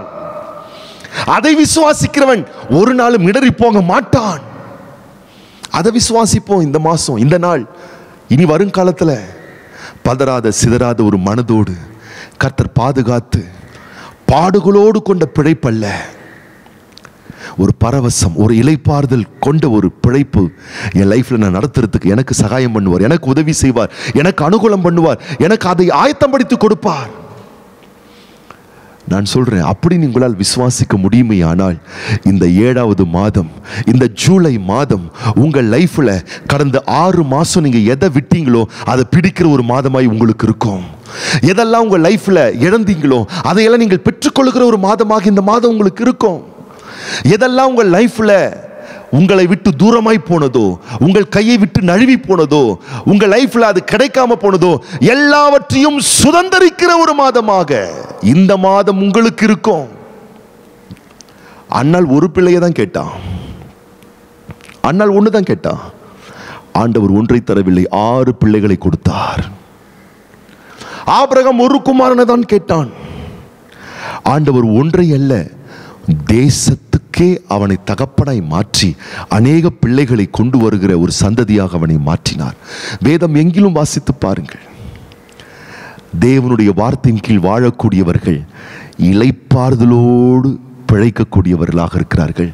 அப்படிப்பட்ட ஒரு வாழ்க்கையை ஆண்டவர் உங்களுக்கு கொடுத்துருக்கார். ஆகவே தினந்தோறும் நியூஸை பார்த்துக்கிட்டு வாட்ஸ்அப்பில் வர்றதெல்லாம் ஷேர் பண்ணிக்கிட்டு ஃபேஸ்புக்கு எப்போ பார்த்தாலும் நோண்டிக்கிட்டு உலகத்தில் என்ன சொல்கிறாங்க என்ன குறைபாடிக்கிட்டு இருக்காங்க என்ன விமர்சிக்கிறாங்க இது சரியா அது சரியா இது கரெக்டா அது கரெக்டா என்ன நடந்துக்கிட்டு இருக்கு ஏது நடந்துக்கிட்டு இருக்கு எப்படி போக போகுது எப்படி ஆக போகுது இதெல்லாம் உங்களுக்கு தேவையில்லாத வேலை. ஏன்னா நீங்கள் பிரபஞ்ச விதியின் கீழ் வாழ்கிறவர்கள் அல்ல. ஏனென்றால் உங்களையும் என்னையும் தேவன் இந்த பொல்லாத பிரபஞ்சம் என்ற இந்த விதி சட்டத்திலிருந்து நம்மை விடுதலையாக்கி குமாரனுடைய ராஜ்யம் வார்த்தையின் ராஜ்யத்துக்குள் நம்மை கொண்டு வந்து வைத்திருக்கிறார். அப்ப ஜூலை மாதம் விசுவாசிங்க. அற்புதமா விசுவாசிங்க. என் பாதை ராஜபாதையா இருக்கும். ஒரே எகிப்து தேசம்தான். ஆனால் அதே எகிப்து தேசத்தில் ஒரு பக்கத்தில் இஸ்ரேல் மக்கள் இன்னொரு பக்கத்தில் எகிப்து மக்கள். எகிப்து மக்கள் இருக்கிற இடத்துலலாம் ஒரே இருட்டு. ஆனால் இஸ்ரேல் மக்கள் மத்தியில் ஒரே வெளிச்சம். ஏன் ஏன்னா எகிப்தியர்கள் அத்தனை பேரும் பிரபஞ்ச விதியின் கீழ் வாழ்ந்தார்கள். இயற்கையின்படி பாதிக்கப்பட்டார்கள். இயற்கையின் விதியின்படி. ஆனால் இஸ்ரேல் மக்கள் அத்தனை பேரும் தேவனுடைய வார்த்தை தேவனுடைய வாக்கு தத்தத்தின் கீழ் வாழ்ந்தார்கள். அந்த வாக்கு தத்தத்தின் கீழ் அவர்கள் வாசஸ்தலத்திலே பிரகாசம் ஒளித்தது அதுதான் கர்த்தர் இன்னைக்கும் உங்களோடு முகமுகமாக திட்டமாக பேசுகிறாரு நீங்கள் விசேஷமானவர்கள். கர்த்தர் உங்களுக்காக ஜோம் பண்றாரு. கர்த்தருடைய வா- வேண்டுதல்கள் கேட்கப்பட்டிருக்கிறது. உங்களுக்காக ஒருவர் இருக்கிறார். அவர் சொல்லுகிறார் நீங்கள் விசேஷமானவர்கள். நீ பதற நீ சிதற நீ அங்கலாய்க்க வேண்டிய அவசியமே கிடையாது. பறவையை பட்சிகளை போஷிக்கும் கர்த்தர் உன்னை போஷிப்பதற்கு வல்லவராய் இருக்கிறார். உன் தேவையை சந்திப்பதற்கு போதுமானவராய் இருக்கிறார். உன்னோடு கூடவே இருந்து உனக்கு விடுதலை தந்து உன் தலையை உயர்த்துவதற்கு அவர் நல்லவராய் வல்லவராய் என்றென்றும் உன்னோடு கூட வாழக்கூடிய தேவனாய் இருக்கிறபடினால் இந்த ஜூலை மாதம் நிம்மதியாக போங்க. நிம்மதியாக இருங்க. சந்தோஷமாக இருங்க. கர்த்தர் பார்த்து கொள்வார் என்ற மிக உன்னதமான விசுவாசத்தோடு கூட வாழ்ந்து கொண்டிருங்கள். தேவனாகிய கர்த்தருடைய வார்த்தையின்படி நீங்கள் பிழைப்பீர்கள். பிழைப்பூட்டுவார். பிழைக்க பண்ணுவார் தேவ ராஜ்யத்தை தேடுகிற உங்கள் வாழ்க்கையை அவர் செழிக்க பண்ணுவார் என்ற வார்த்தை அனைவருக்கும் தான். ஆனால் எவர்கள் விசுவாசிக்கிறார்களோ அவர்களுக்கு தான் இந்த செய்தியில் இருக்கக்கூடிய ஆசீர்வாதம் பலிக்கும். இது அனைவருக்குமான செய்தி. ஆனால் எவருக்கு பழிக்கும்? நான் பிரபஞ்ச விதியின் கீழ் உலக விதியின் கீழ் இயற்கையின் விதியின் கீழ் அல்ல வார்த்தையின் விதியின் கீழ் வாழ்கிறேன். அப்போ இன்னைக்கு நியூஸ்ல வர செய்தி எல்லாம் இன்னைக்கு உலகத்திலிருந்து வரக்கூடிய எல்லா தகவலும் அது யாருக்கு பலிக்கும் யாருக்கு அறிவிக்கப்படுகிறது? உலக பிரபஞ்ச விதியின் கீழ் வாழ்கிறவர்களுக்கு அது அறிவிக்கப்படுகிறது. அது அவங்களுக்கு பழிக்கும். அது சாதகமோ பாதகமோ. ஆனா எனக்கு என் தேவனாகிய கர்த்தர் ஆறாயிரம் செய்திகளை இங்கே வச்சிருக்கிறாரு. எல்லாமே எல்லா செய்தியும் என்னுடைய நம்முடைய ஆவி ஆத்துமா சரீரம் ஆவிக்குரிய ஜீவியம் பொருளாதார பொருளாதார ஜீவியம் ஊழிய ஜீவியம் பரிசுத்த ஜீவியம் கைகளின் பிரயாச ஜீவியம் பயண ஜீவியம் வருங்கால ஜீவியம் பிள்ளைகளுடைய ஜீவியம் எல்லா நம்முடைய வாழ்வின் பகுதிகளுக்குரிய நன்மையான செய்திகளாக ஆறாயிரம் வார்த்தைகள் வாக்குகள் வாக்குத்தத்த செய்திகள் நமக்கு அறிவிக்கப்பட்டு கொண்டே இருக்கிறது. இதில் விசுவாசம் வைக்கிறவன் இடறி போக மாட்டான் பதறி போக மாட்டான் சிறப்பாக வாழ்ந்திருப்பான். வார்த்தை நம்புவோம். எப்படியெல்லாம் பேச முடியாது எப்படியெல்லாம் சிந்திக்க முடியாது எப்படியெல்லாம் சிந்திச்சதுனால தான் வாழ்க்கை எப்படியோ இருக்குது. கண்ட கண்டபடி பேசுனதுனால தான் வாழ்க்கை கண்டபடி இருக்கு. கரெக்டாக பேசி பாருங்க லைஃப் கரெக்டாக இருக்கும். வசனத்தை பேசி பாருங்க உங்கள் வாழ்க்கை வாழ்வு பெற்ற ஒரு வாழ்க்கையாக இருக்கும். இந்த வார்த்தையின்படி கர்த்தர் இந்த மாதம் மட்டுமல்ல இனி வாழ்நாள் முழுவதும் உங்களை போஷிப்பார். காரணம் நீங்கள் விசேஷமானவர்கள். நம்பி நிம்மதியாக இருங்கள் கர்த்தர் உங்களை போஷிப்பார் உடுத்துவிப்பார் பாதை காட்டுவார் பாசம் காட்டுவார் நேர்த்தியாய் நடத்துவார். குறைவின்றி வாழ வைப்பார். கர்த்தரை நம்புகிறவர்கள் பாக்கியவான்கள். கண்களை மூடி நாம் ஜெபிக்க போகிறோம். இந்த வார்த்தையின்படி கர்த்தர் உங்கள் யாவரையும் விசேஷமாக ஆசீர்வதிப்பாராக. கண்களை மூடி இந்த மாதத்தின் விசேஷித்த இந்த வார்த்தையை விசுவாசிக்கிற ஒவ்வொருவருடைய வாழ்வில் இந்த வார்த்தை அப்படியே பழிக்கத்தக்க வண்ணமாய் தேவன் செயல்படும்படி நாம் சோம் பண்ண போறோம். எங்கள் பாசமுள்ள எங்கள் பரலோக தகப்பனே பிதா குமாரன் பரிசுத்த ஆவியனவருடைய நல்ல நாமத்தினாலே நீர் இந்த ஜூலை மாதம் முதலாம் தேதி இந்த காலையில் நீர் எங்களுக்கு தந்த இந்த வாக்கு தத்த ஆராதனையில இணைக்கப்பட்ட வார்த்தையை தியானிக்கிற ஆராய்ந்து பார்க்கிற விசுவாசிக்கிற ஒவ்வொரு பிள்ளைகளையும் எல்லையற்ற அளவற்ற ரகத்தில் பரலோக தேவன் நீர் ஆசீர்வதித்தருள்வீராக ராஜா. நம்முடைய கிருபையும் பாசமும் பேரன்பும் உடைய பிள்ளைகளோடு கூடவே இருக்கட்டும் அப்பா. நிம்மதியா இருப்பாங்களா? ஒவ்வொரு பிள்ளைகளும் நிம்மதியோடு வாழ்வார்களாக நிம்மதி பெருமூச்சு விடுவார்களாக. கர்த்தர் எனக்காக யாவையும் செய்து முடிப்பார். அவர் பிழைப்பூட்டுவார். அவர் ஆசீர்வதிப்பார். அவர் பார்த்து கொள்வார் பழுதின்றி பார்த்து என்னை பிழைப்பூட்டுவார். அவர் சொல்லியிருக்கிறார் பறவைகள் பட்சிகளையே போஷிக்கிற தேவன் என்னை போஷிக்க மாட்டாரா? நிச்சயமாக போஷிப்பார். நான் விசேஷமானவன் என்ற நிச்சயத்தோடு வாழ்ந்திருப்பார்களாக. வார்த்தை விசுவாசிக்கிற முது பிள்ளைகள் ஒவ்வொருவருடைய வாழ்விலே உடைய வார்த்தை பழிப்பதாக உடைய நாமத்திற்கு மைமுண்டாவதாக தொடர்ந்து கர்த்தர் வழிநடத்துவீராக நாமத்திற்கு மைமர பண்ணுவீராக மகிமை கனம் துதி ஸ்தோத்திரம் அத்தனையும் நாங்கள் உமக்கே செலுத்தி இயேசு கிறிஸ்துவின் ஆசீர்வதிக்கப்பட்ட நாமத்தினாலே ஜெபிக்கிறோம் எங்கள் நல்ல பிதாவே. ஆமீன். நாம் சேர்ந்து சொல்வோம் என் ஆத்துமாவே கர்த்தரை ஸ்தோத்தரி. என் முழு உள்ளமே அவருடைய பரிசுத்த நாமத்தை ஸ்தோத்தரி. என் ஆத்துமாவே கர்த்தரை ஸ்தோத்தரி. கர்த்தர் செய்த சகல உபகாரங்களையும் மறவாதே. ஆமேன். நம்முடைய கர்த்தராகிய ஆண்டவர் இயேசு கிறிஸ்துவினுடைய கிருபையும் பிதாவாகி தேவனுடைய அன்பும் பரிசுத்த ஆவியானவருடைய ஐக்கியமும் நாம் யாவரோடும் கூட ஆண்டவராகி இயேசு கிறிஸ்துவின் வருகை வரும் மட்டும் எப்பொழுதும் என்றென்றைக்கும் நம்மோடு கூட இருப்பதாக. ஆமீன். நீங்கள் கர்த்தரால் ஆசீர்வதிக்கப்பட்டவர்கள் கர்த்தர் உங்களோடு கூடவே இருப்பாராக.